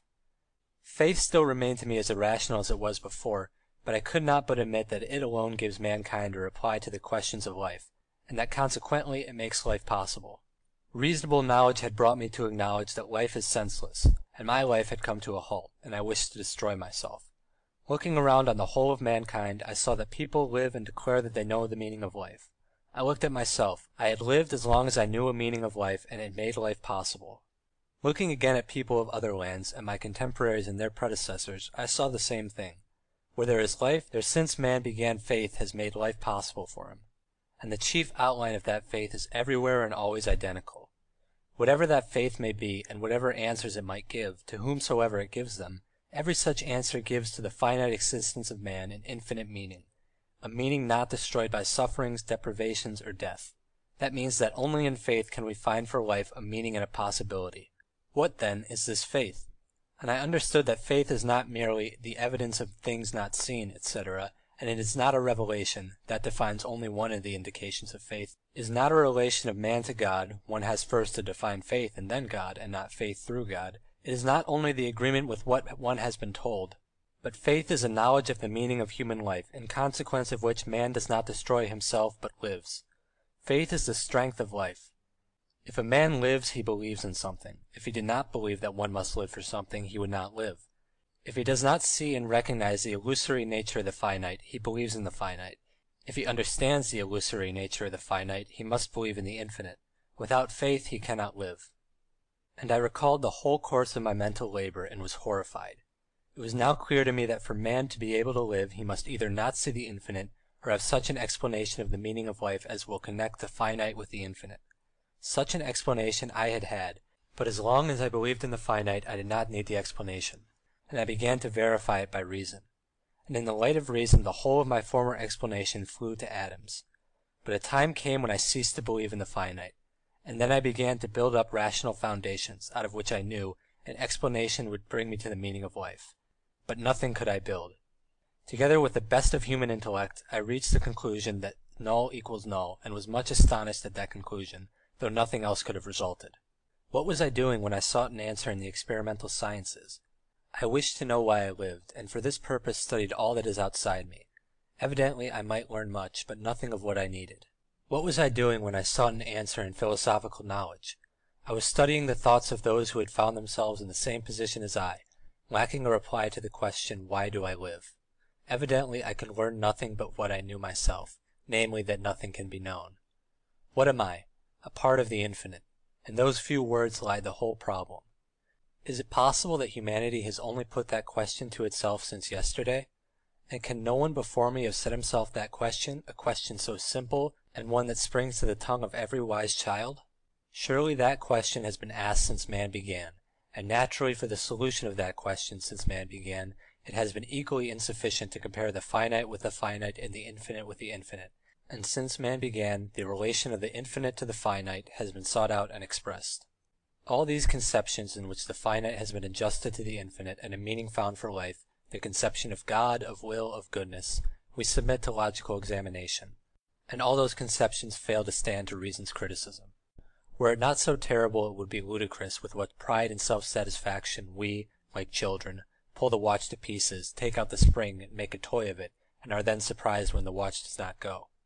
A solution of the contradiction between the finite and the infinite, and such a reply of the question of life as will make it possible to live, is necessary and precious. And that is the only solution where we find everywhere, always and among all people. A solution descending from times in which we lose sight of the life of man, a solution so difficult that we can compose nothing like it. And this solution we light-heartedly destroy in order again to set the same question, which is natural to everyone and to which we have no answer. The conception of an infinite God, the divinity of the soul, the connection of human affairs with God, the unity and existence of the soul, man's conception of moral goodness and of evil, are conceptions formulated in the hidden infinity of human thought. They are those conceptions without which neither life nor I should exist, yet rejecting all that labour of the whole of humanity, I wish to remake it afresh myself, and in my own manner. I did not then think like that, but the germs of these thoughts were already in me. I understood in the first place that my position with Schopenhauer and Solomon, notwithstanding our wisdom, was stupid. We see that life is an evil and yet continue to live. That is evidently stupid, for if life is senseless and I am so fond of what is reasonable, it should be destroyed, and then there would be no one to challenge it. Secondly, I understood that all one's reasonings turned in a vicious cycle like a wheel out of gear with its pinion. However much and however well we may reason, we cannot obtain a reply to the question, and null will always equal null, and therefore our path is probably erroneous. Thirdly, I began to understand that in the replies given by faith is stored up the deepest of human wisdom, and that I had no right to deny them on the ground of reason, and that those answers are the only ones which reply to life's question. End of chapter 9.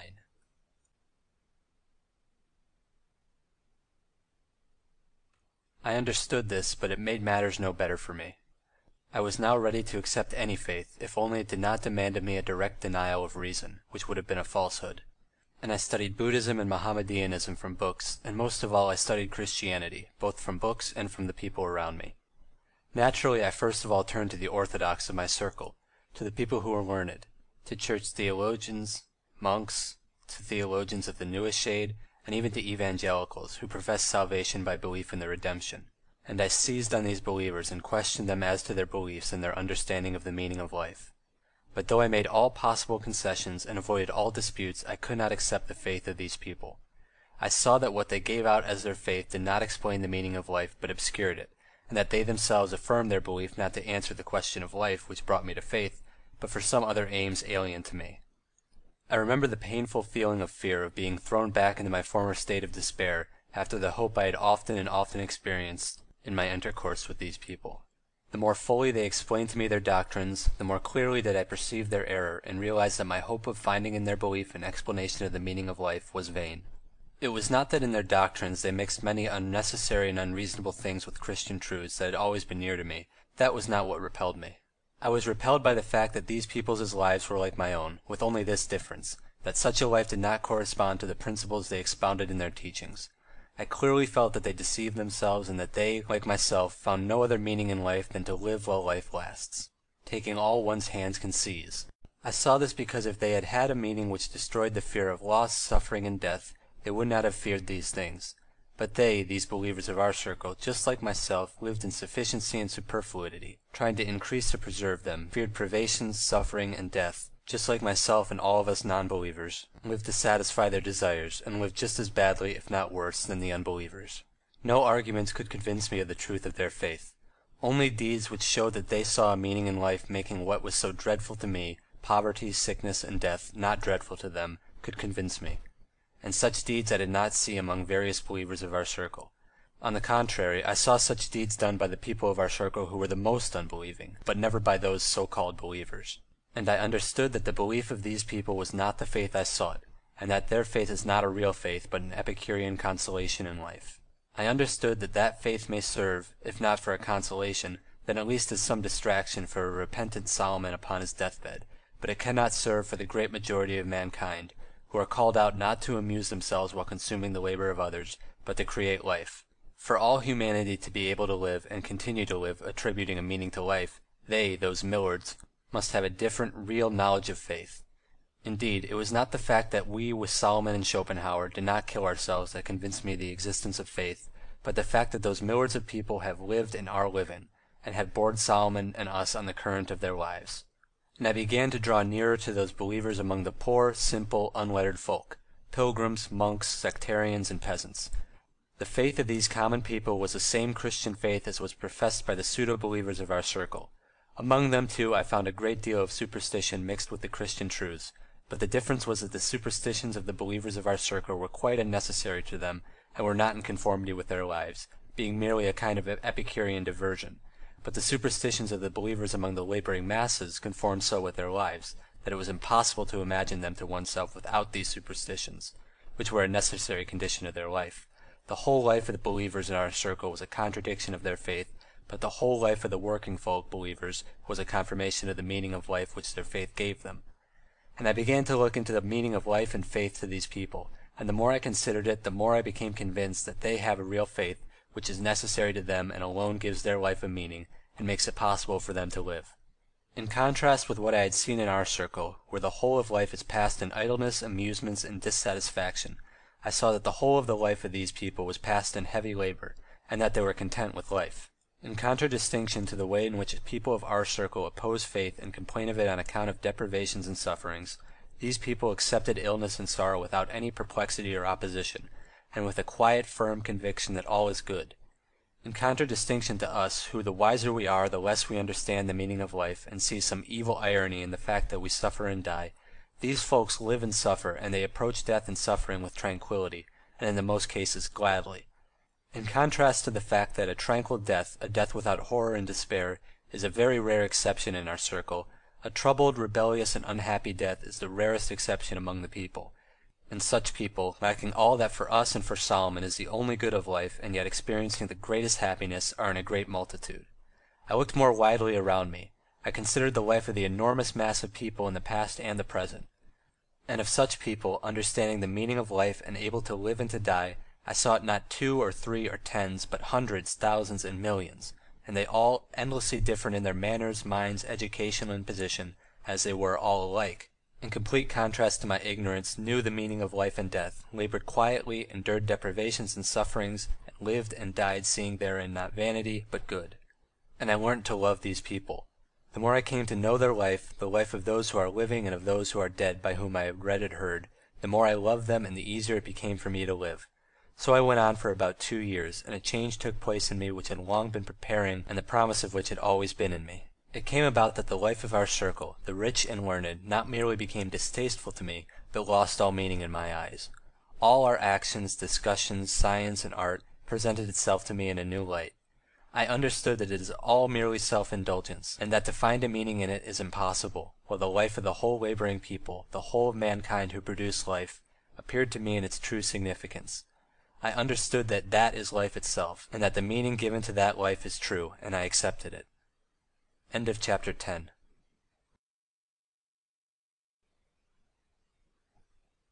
Remembering how those very beliefs had repelled me and had seemed meaningless when professed by people whose lives conflicted with them, and how these same beliefs attracted me and seemed reasonable when I saw that people lived in accord with them, I understood why I had then rejected those beliefs and found them meaningless, and yet now accepted them and found them full of meaning. I understood that I had erred, and why I had erred. I had erred not so much because I thought incorrectly as because I lived badly. I understood that it was not an error in my thought that had hid the truth from me, as much as my life itself and the exceptional conditions of Epicurean gratification of desires in which I had passed it. I understood that my question as to what my life is, and the answer, in evil, was quite correct. The only mistake was that the answer referred only to my life, while I had referred to it to life in general. I asked myself what my life is, and got the reply an evil and an absurdity, and really my life, a life of indulgences of desires, was senseless and evil, and therefore the reply, life is evil and an absurdity, referred only to my life, but not to human life in general. I understood the truth which afterwards I found in the gospel, that men love darkness rather than light, for their works were evil. For every one that doth ill hateth the light, and cometh not to the light, lest his works should be reproved. I perceive that to understand the meaning of life it is necessary first that life should not be meaningless and evil, then we can apply reason to explain it. I understood why I had so long wandered round so evident a truth, and that if one is to think and speak of the life of mankind, one must think and speak of that life, and not of the life of some of life's parasites. That truth was always as true as that two and two equal four, but I had not yet acknowledged it, because on admitting two and two to be four I had also to admit that I was bad, and to feel myself to be good was for me more important and necessary than for two and two to be four. I came to love good people, hated myself, and confessed the truth. Now all became clear to me. What if an executioner, passing his whole life in torturing people and cutting off their heads, or a hopeless drunkard, or of a madman settled for life in a dark room which he had followed and imagines that he would perish if he left? What if he asked himself, What is life? Evidently he would be able to provide no other reply to that question than that life is the greatest evil, and the madman's answer would be perfectly correct, but only as it applied to himself. What if I am such a madman? What if all we rich and leisured people are such madmen, and I understood that we really are madmen? I, at any rate, was certainly such. And indeed a bird is so made that it must fly, collect food, and build a nest, and when I see that a bird does this I have pleasure in its joy. A goat, a hare, and a wolf are so made that they must feed themselves and must breed and feed their family, and when they do so I feel firmly assured that they are happy and that their life is a reasonable one. Then what should a man do? He too should provide his living as the animals do, but with this difference, that he will perish if he does it alone. He must obtain it not for himself but for all. And when he does that I have a firm assurance that he is happy and that his life is reasonable. But what had I done during those whole thirty years of my responsible life? Far from producing sustenance for all, I did not even produce it for myself. I lived as a parasite. On asking myself, what is the use of my life? I got the reply, no use. If the meaning of human life lies in supporting it, how could I, who for thirty years had been engaged not on supporting life but on destroying it in myself and in others, how could I obtain any other answer than that my life was senseless and an evil? It was both senseless and an evil. The life of the world endures by someone's will, by the life of the whole world and by our lives someone fulfills his purpose. To hope to understand the meaning of that will, one must first perform it by doing what is wanted of us. But if I will not do what is wanted of me, I shall never understand what is wanted of me, and still less what is wanted of all of us and of the whole world. If a naked, hungry beggar has been taken to the crossroads, brought into a building belonging to a beautiful establishment, fed, supplied with drink, and obliged to move a handle up and down, evidently before discussing why he was taken, why he should move the handle, and whether the whole establishment is reasonably arranged, the beggar should first of all move the handle. If he moves the handle he will understand that it works a pump, and that the pump draws water, and that the water irrigates the garden beds. Then he will be taken from the pumping station to another place, where he will gather fruits and will enter into the joy of his master, and passing from lower to higher work, will understand more and more of the arrangements of the establishment, and taking part in it will never think to ask why he is there, and certainly will not reproach the master. So those who do his will, the simple, unlearned working folk, whom we regard as cattle, do not reproach the master. But we, the wise, eat the master's food but do not do what the master wishes, and instead of doing it sit in a circle and discuss, why should that handle be moved? Isn't it stupid? So we have decided. We have decided that the master is stupid or does not exist, and that we are wise, only we feel that we are quite useless and that we must somehow do away with ourselves. End of chapter 11.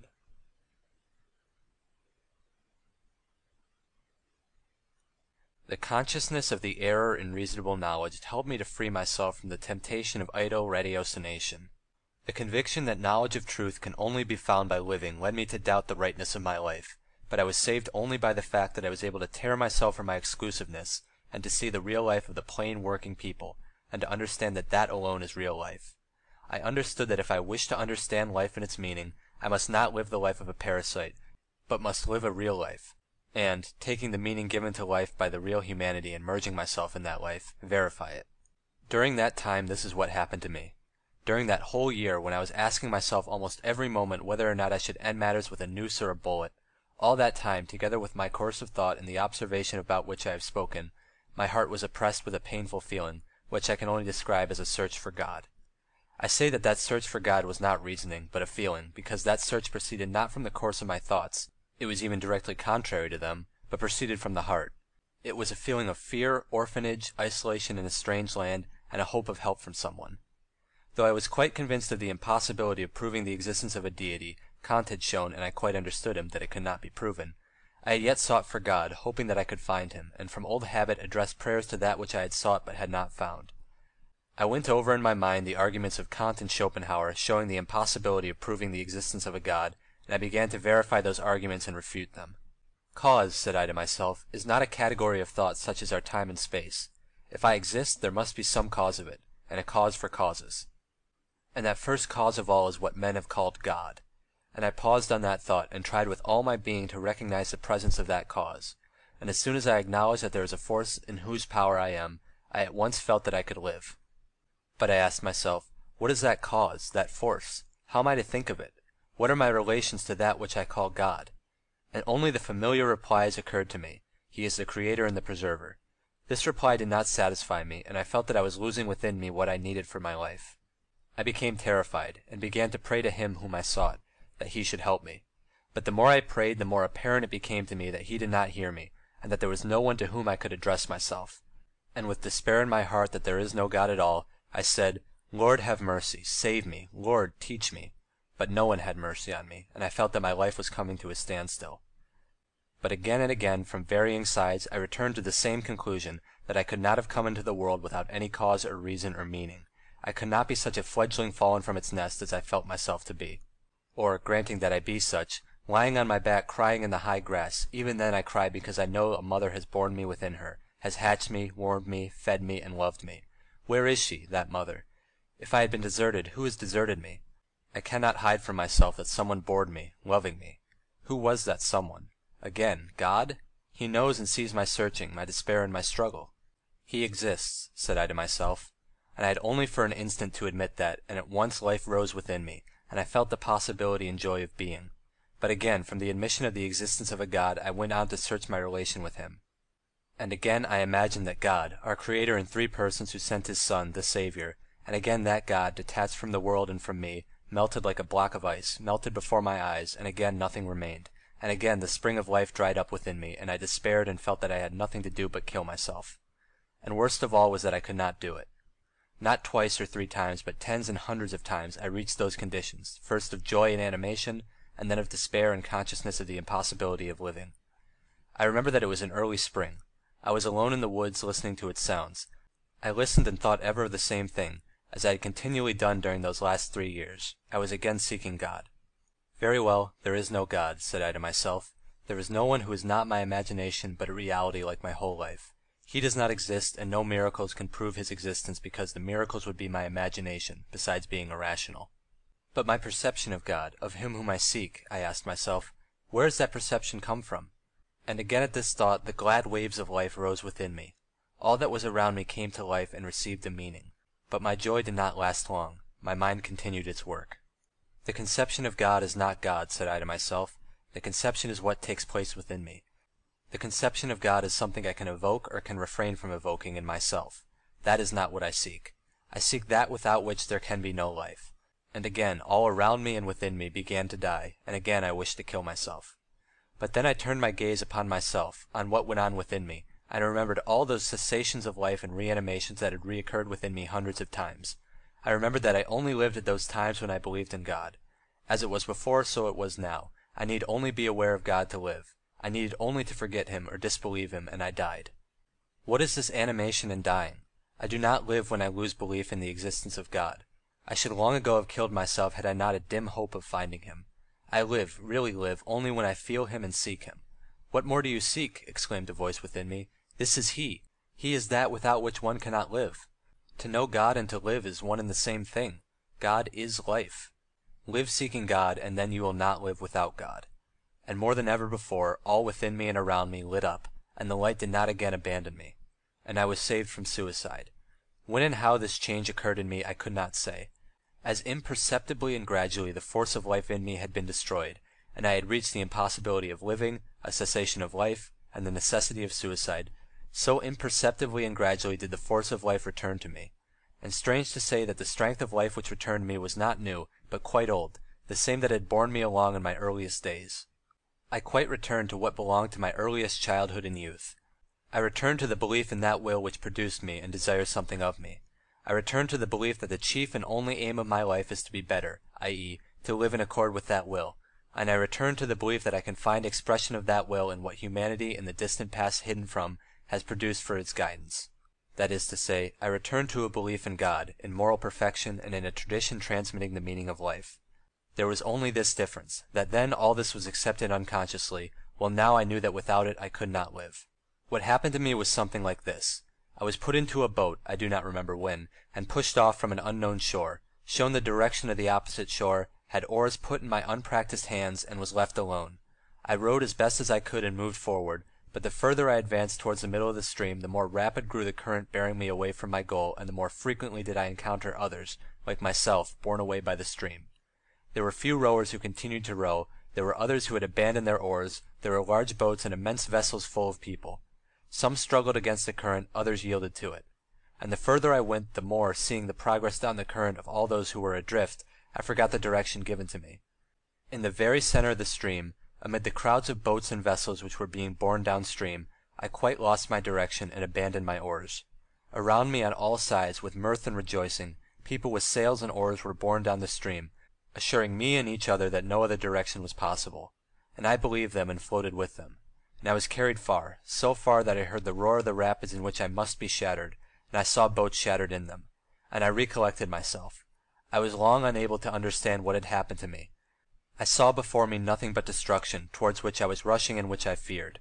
I saw no safety anywhere and did not know what to do, but looking back I perceived innumerable boats which unceasingly and strenuously pushed against the stream, and I remembered about the shore, the oars, and the direction, and began to pull back upwards against the stream and towards the shore. That shore was God, and the direction was tradition. The oars were the freedom given to me to pull for the shore and unite with God. And so the force of life was renewed in me, and I again began to live. End of chapter 12.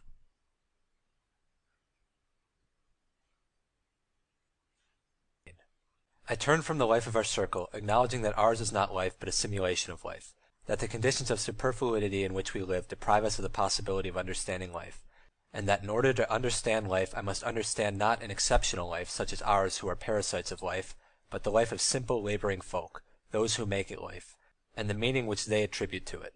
The simplest laboring people around me were the Russian people, and I turned to them and to the meaning of life which they gave. That meaning, if one can put it into words, was as follows. Every man has come to the world by the will of God. And God has so made men that man can destroy his soul or save it. The aim of man in life is to save his soul, and to save his soul he must live godly, and to live godly he must renounce all pleasures of life, must labor, humble himself, suffer, and be merciful. That meaning people obtain from the whole teaching of faith transmitted to them by their pastors and by the traditions that live among the people. This meaning was clear to me and near to my heart. But together with this meaning of the popular faith of our non-sectarian folk among whom I lived, much was inseparably bound up that revolted me and seemed to me inexplicable sacraments, church services, fasts, and the adoration of relics and icons. The people cannot separate one from the other, nor could I. And strange as much of what entered into the faith of these people was to me, I accepted everything, and attended the services, knelt morning and evening in prayer, fasted, and prepared to receive the Eucharist. And at first my reason did not resist anything. The very things that had formerly seemed to me impossible did not now evoke in me any opposition. My relations to faith before and after were quite different. Formerly life itself seemed to me full of meaning and faith, presented itself as the arbitrary assertion of propositions to me quite unnecessary, unreasonable, and disconnected from life. I then asked myself what meaning those propositions had, and convinced that they had none, I rejected them. Now, on the contrary, I knew firmly that my life otherwise has and can have no meaning, and articles of faith were far from presenting themselves to me as unnecessary. On the contrary, I had been led by indubitable experience to the conviction that only these propositions presented by faith give life a meaning. Formerly I looked on them as some quite unnecessary gibberish, but now, if I did not understand them, I yet knew that they had a meaning, and I said to myself that I must learn to understand them. I argued as follows, telling myself that the knowledge of faith flows, like all humanity with its reason, from a mysterious source. That source is God, the origin both of the human body and the human reason.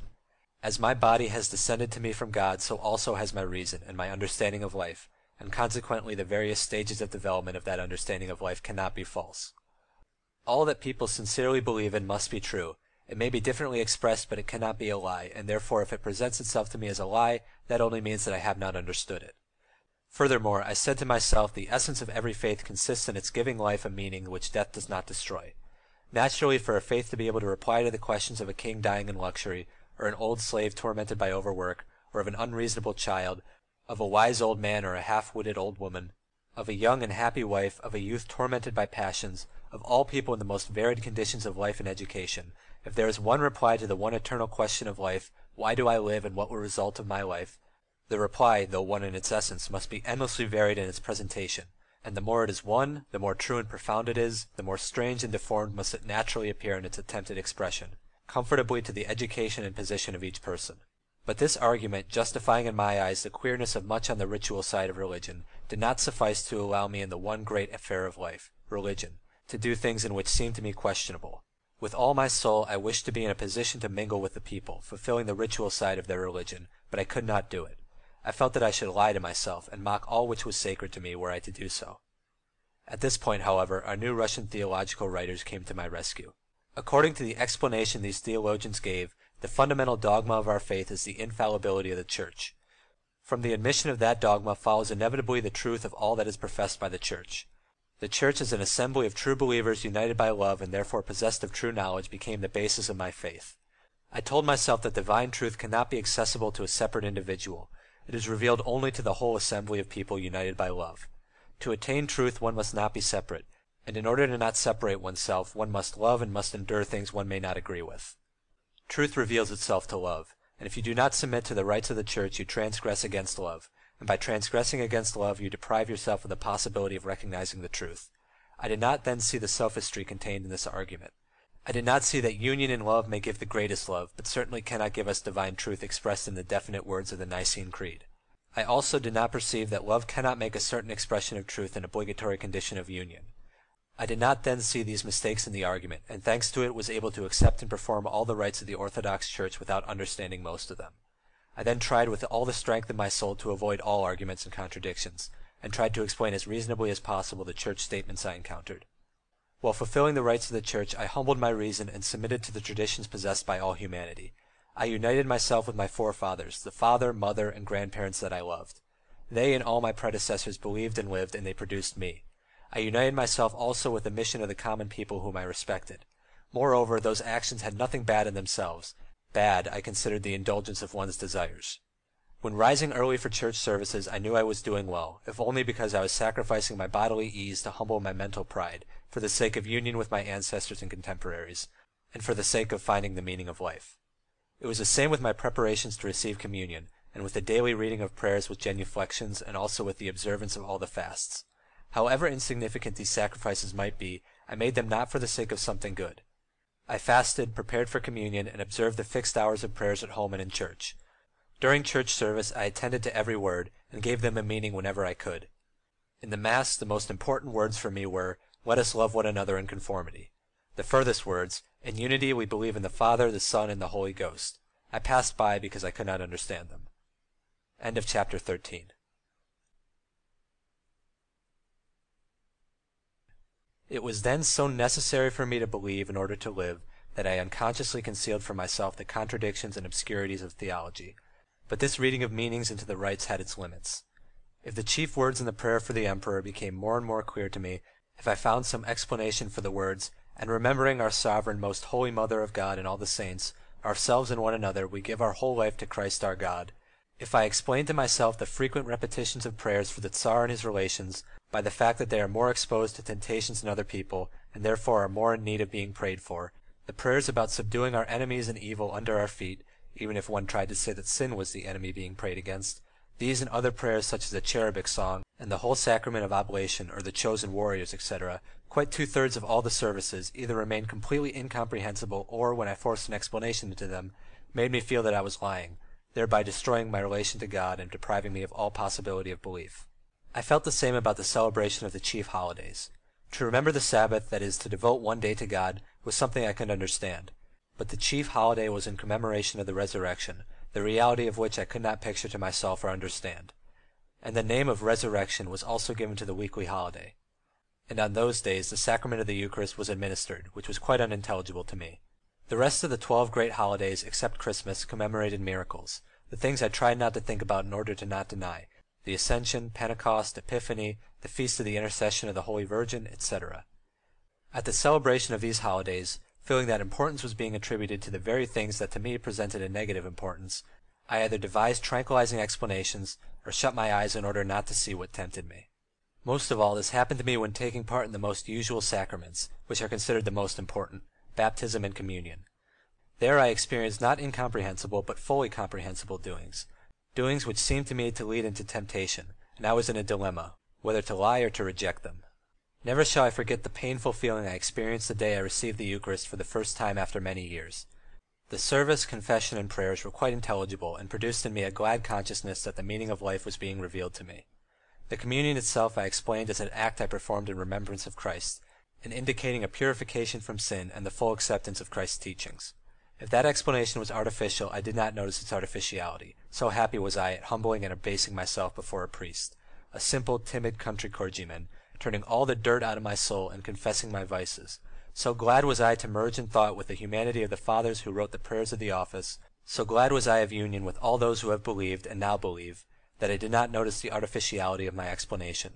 but when I approached the altar gates, and the priest made me say that I believed that what I was about to swallow was truly flesh and blood, I felt a pain in my heart. It was not merely a false note, it was a cruel demand made by someone or other who evidently had never known what faith is. I now permit myself to say that it was a cruel demand, but I did not then think so, only that it was indescribably painful to me. I was no longer in the position in which I had been in youth, when I thought that all in life was clear. I had indeed come to faith because, apart from faith, I had found nothing, certainly nothing, except destruction. Therefore to throw away that faith was impossible, and I submitted. And I found in my soul a feeling which helped me to endure it. This was the feeling of self-abasement and humility. I humbled myself, swallowed that flesh and blood without any blasphemous feelings, and with a wish to believe. But the blow had been struck, and knowing what awaited me, I could not go a second time. I continued to fulfill the rites of the Church, and still believed that the doctrine I was following contained the truth, when something happened to me which I now understand, but which then seemed strange. I was listening to the conversation of an illiterate peasant, a pilgrim, about God, faith, life, and salvation, when a knowledge of faith revealed itself to me. I drew near to the people, listening to their opinions of life and faith, and I understood the truth more and more. So also was it when I read the lives of holy men, which became my favorite books. Putting aside the miracles and regarding them as fables illustrating thoughts, this reading revealed to me life's meaning. There were the lives of Macarius the Great, the story of Buddha, there were the words of St. John Chrysostom, and there were the stories of the traveller in the well, the monk who found some gold, and of Peter the publican. There were stories of the martyrs, all announcing that death does not exclude life, and there were the stories of ignorant stupid men, who knew nothing of the teaching of the Church, but who yet were saved. But as soon as I met learned believers or took up their books, doubt of myself, dissatisfaction, and exasperated disputation were roused in me and I felt that the more I entered into the meanings of these men's speeches, the more I went astray from truth and approached an abyss. End of chapter 14.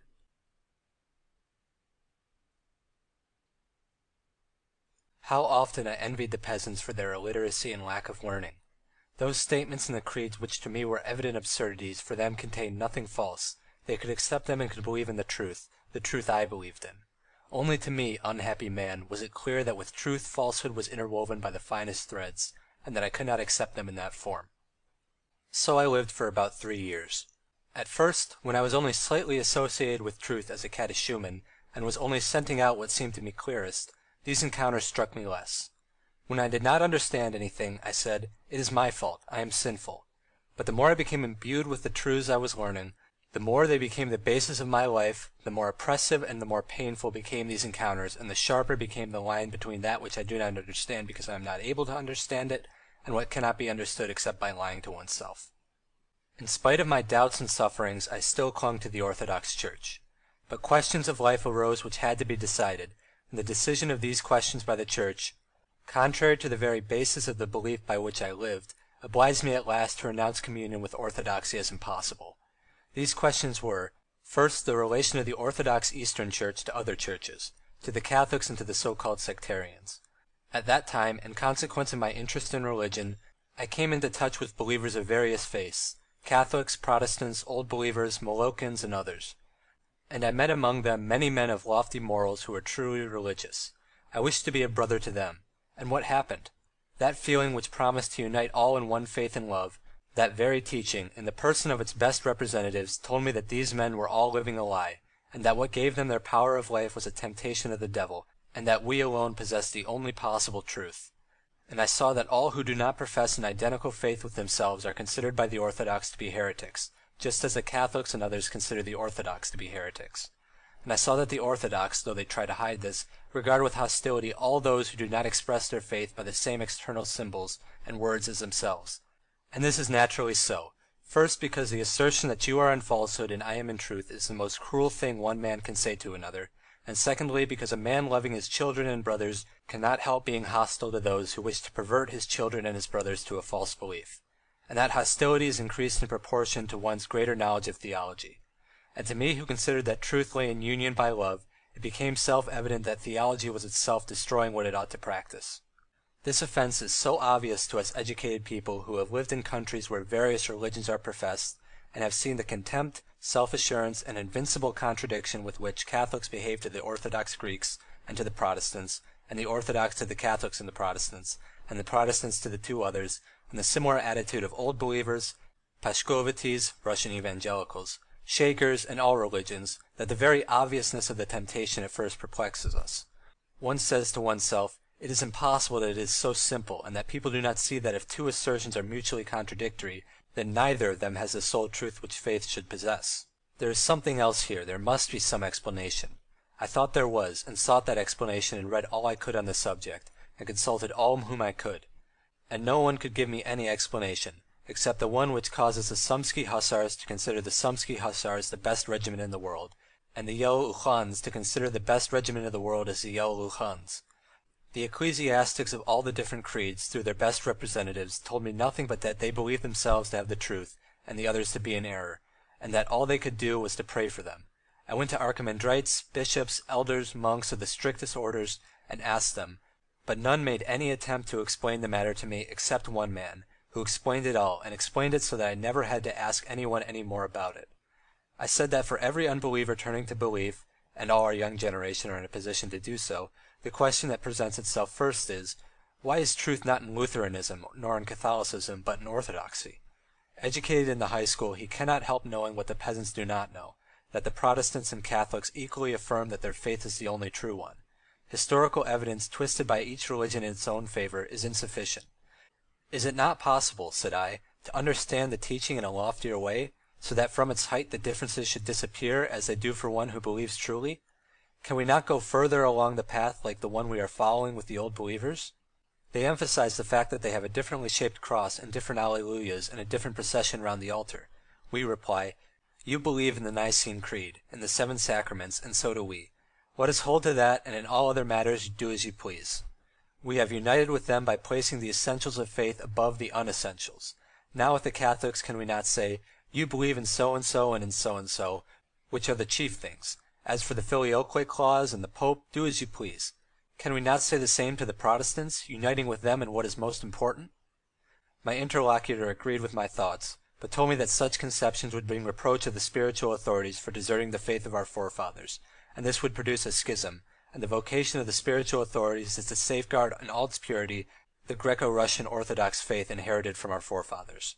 And I understood it all. I am seeking a faith, the power of life, and they are seeking the best way to fulfill in the eyes of men certain human obligations, and fulfilling these human affairs they fulfill them in a human way. However much they may talk of their pity for their erring brethren, and of addressing prayers for them to the throne of the Almighty, to carry out human purposes violence is necessary and it always has been applied and is and will be applied. If of two religions each considers itself true and the other false, then men desiring to attract others to the truth will preach their own doctrine. And if a false teaching is preached to the inexperienced sons of their church, which has the truth, then that church cannot but burn the books and remove the man who is misleading its sons. What is to be done with a sectarian, burning, in the opinion of the orthodox, with the fire of false doctrine, who in the most important affair of life, in faith, misleads the sons of the Church. What can be done with him except to cut off his head or incarcerate him? Under the Tsar Alexis Mikhailovich people were burned at the stake, that is to say, the severest method of punishment of the time was applied, and in our day also the severest method of punishment is applied, detention in solitary confinement. The second relation of the Church to a question of life was with regard to war and executions. At the time Russia was at war, and Russians, in the name of Christian love, began to kill their fellow men. It was impossible not to think about this, and not to see that killing is an evil repugnant to the first principles of any faith. Yet prayers were said in the church for the successes of our arms, and the teachings of the faith acknowledged killing to be an act resulting from faith. And besides the murders during war, I saw during the disturbances which followed the war Christian dignitaries and teachers and monks of the lesser and stricter orders who approved the killing of helpless, erring youths. And I took note of all that is done by men who profess Christianity, and I was horrified. End of chapter 15. And I ceased to doubt, and became convinced that not all was true in the religion I had joined. Formerly I should have said that it was all false, but I could not say so now. The whole of the people possessed a knowledge of the truth, for otherwise they could not have lived. Moreover, that knowledge was accessible to me, for I had felt it and lived by it. But I no longer doubted that there was also falsehood in it. And all that had previously repelled me now presented itself vividly before me and though I saw that among the peasants there was a smaller admixture of lies that repelled me than among the representatives of the Church, I still saw that in the people's belief also falsehood was mingled in the truth. But where did the truth and where did the falsehood come from? Both the falsehood and the truth were contained in the so-called holy tradition in the Scriptures. both the falsehood and the truth had been handed down by what is called the Church. And whether I liked it or not, I was brought to the study and investigation of these writings and traditions, which till now I had been so afraid to investigate. And I turned to the examination of that same theology which I had once rejected with such contempt as unnecessary. Formerly it seemed to me a series of unnecessary absurdities, when on all sides I was surrounded by manifestations of life which seemed to me clear and full of sense. Now I should have been glad to throw away what would not enter a healthy head, but I had nowhere to turn to.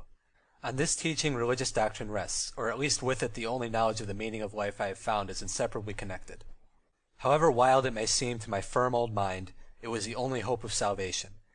It had to be carefully, attentively examined in order to understand it, and not even to understand it as I understand the propositions of science. I do not seek that, nor can I seek it, knowing the special character of religious knowledge. I shall not seek the explanation of everything. I know that the explanation of everything, like the commencement of everything, must be concealed in infinity, but I wish to understand in a way which will bring me to what is inevitably inexplicable. I wish to recognize anything that is inexplicable as being not so because the demands of my reason are wrong, they are right, and apart from that I can understand nothing, but because I recognize the limits of my intellect. I wish to understand in such a way that everything that is inexplicable shall present itself to me as being necessarily inexplicable, and not as being something I am under an arbitrary obligation to believe. That there is truth in the teaching is to me indubitable, but it is also certain that there is falsehood in it, and I must find what is true and what is false, and must disentangle the one from the other. I am seeking to work upon this task. What of falsehood I have found in the teaching, and what I have found of truth, and to what conclusions I came, will form the following parts of this work which if it be worth it, and if anybody wants it, will probably some day be printed somewhere. 1879. The foregoing was written by me some three years ago, and will be printed. Now a few days ago, when revising it and returning to this line of thought, to the feelings I had when I was living through it all, I had a dream. This dream expressed in the condensed form all that I have experienced and described, and I think therefore, for those who have understood me, a description of this dream will refresh and elucidate and unify what has been set forth at such a length in the foregoing pages. The dream was this. I saw that I was lying on a bed. I was neither comfortable nor uncomfortable. I was lying on my back. But I began to consider how and on what I was lying, a question which had not till then occurred to me. And observing my bed, I saw I was lying on plaited string supports attached to its sides. My feet were resting on one such support, my calves on another, and my legs felt uncomfortable. I seemed to know that those supports were movable, and with a movement of my foot I pushed away the furthest of them at my feet. It seemed to me that it would be more comfortable so. But I pushed it away too far, and wished to reach it again with my foot, and that movement caused the next support under my calves to slip away also, so that my legs hung in the air. I made a movement with my whole body to adjust myself, fully convinced that I could do so at once, but the movement caused the other supports under me to slip and become entangled, and I saw that matters were going quite wrong. The whole of the lower part of my body slipped and hung down, though my feet did not reach the ground. I was holding on only by the upper part of my back, and not only did it become uncomfortable, but I was even frightened. And then only did I ask myself about something which had not occurred to me before then. I asked myself, where am I and what am I lying on? And I began to look around and first of all looked down in the direction which my body was hanging, and where I felt I must soon fall. I looked down and did not believe my eyes. I was not only at a height comparable to the height of the highest towers or mountains, but at a height such as I could have never even imagined. I could not even make out whether I saw anything there below, in that bottomless abyss above which I was hanging and whither I was being drawn. My heart contracted and I experienced horror. To look thither was terrible. If I looked thither I felt that I should at once slip from the last support and perish, and I did not look. But not to look was still worse, for I thought of what would happen to me directly if I fell from the last support. And I felt that from fear I was losing my last supports, and that my back was slowly slipping lower and lower. Another moment and I should drop off. And then it occurred to me that this cannot be real. It is a dream. Wake up! I try to arouse myself but cannot do so. What am I to do? What am I to do? I ask myself and look upwards. Above there is also an infinite space. I look into the immensity of sky and try to forget about the immensity below, and I really do forget it. The immensity below repels and frightens me, the immensity above attracts and strengthens me. I am still supported above the abyss by the last supports that have not yet slipped from under me. I know that I am hanging, but I only look upwards, and my fear passes. As happens in dreams, a voice says, Notice this. This is it. And I look more and more into the infinite above me and feel that I am becoming calm. I remember all that has happened and how it happened, how I moved my legs, how I hung down, how frightened I was, and how I was saved from fear by looking upwards. And I asked myself, well, and now am I not hanging just the same? and I do not so much look round as experience with my whole body the point of support on which I am held. I see that I no longer hang about as if to fall, but am firmly held. I ask myself how I am held. I feel round, look round, and see that under me, under the middle of my body, there is one support, and that when I look upwards I lie on it in a position of securest balance, and that it alone gave me the support before. And then, as happens in dreams, I imagine the mechanism by means of which I was held, a very natural, intelligible, and sure means, though to one awake the mechanism made no sense. I was even surprised in my dream that I had not understood it sooner. It appeared that at my head there was a pillar, and the security of that slender pillar was undoubted, though there was nothing to support it. From that pillar a loop hung very ingeniously and yet simply, and if one lay with the middle of one's body in that loop and looked up, there could be no question of falling. This was all clear to me, and I was very glad and tranquil and it seemed as if someone said to me, See that you remember. And I awoke. End of chapter 16. End of A Confession by Leo Tolstoy, translated by Aylmer Maude.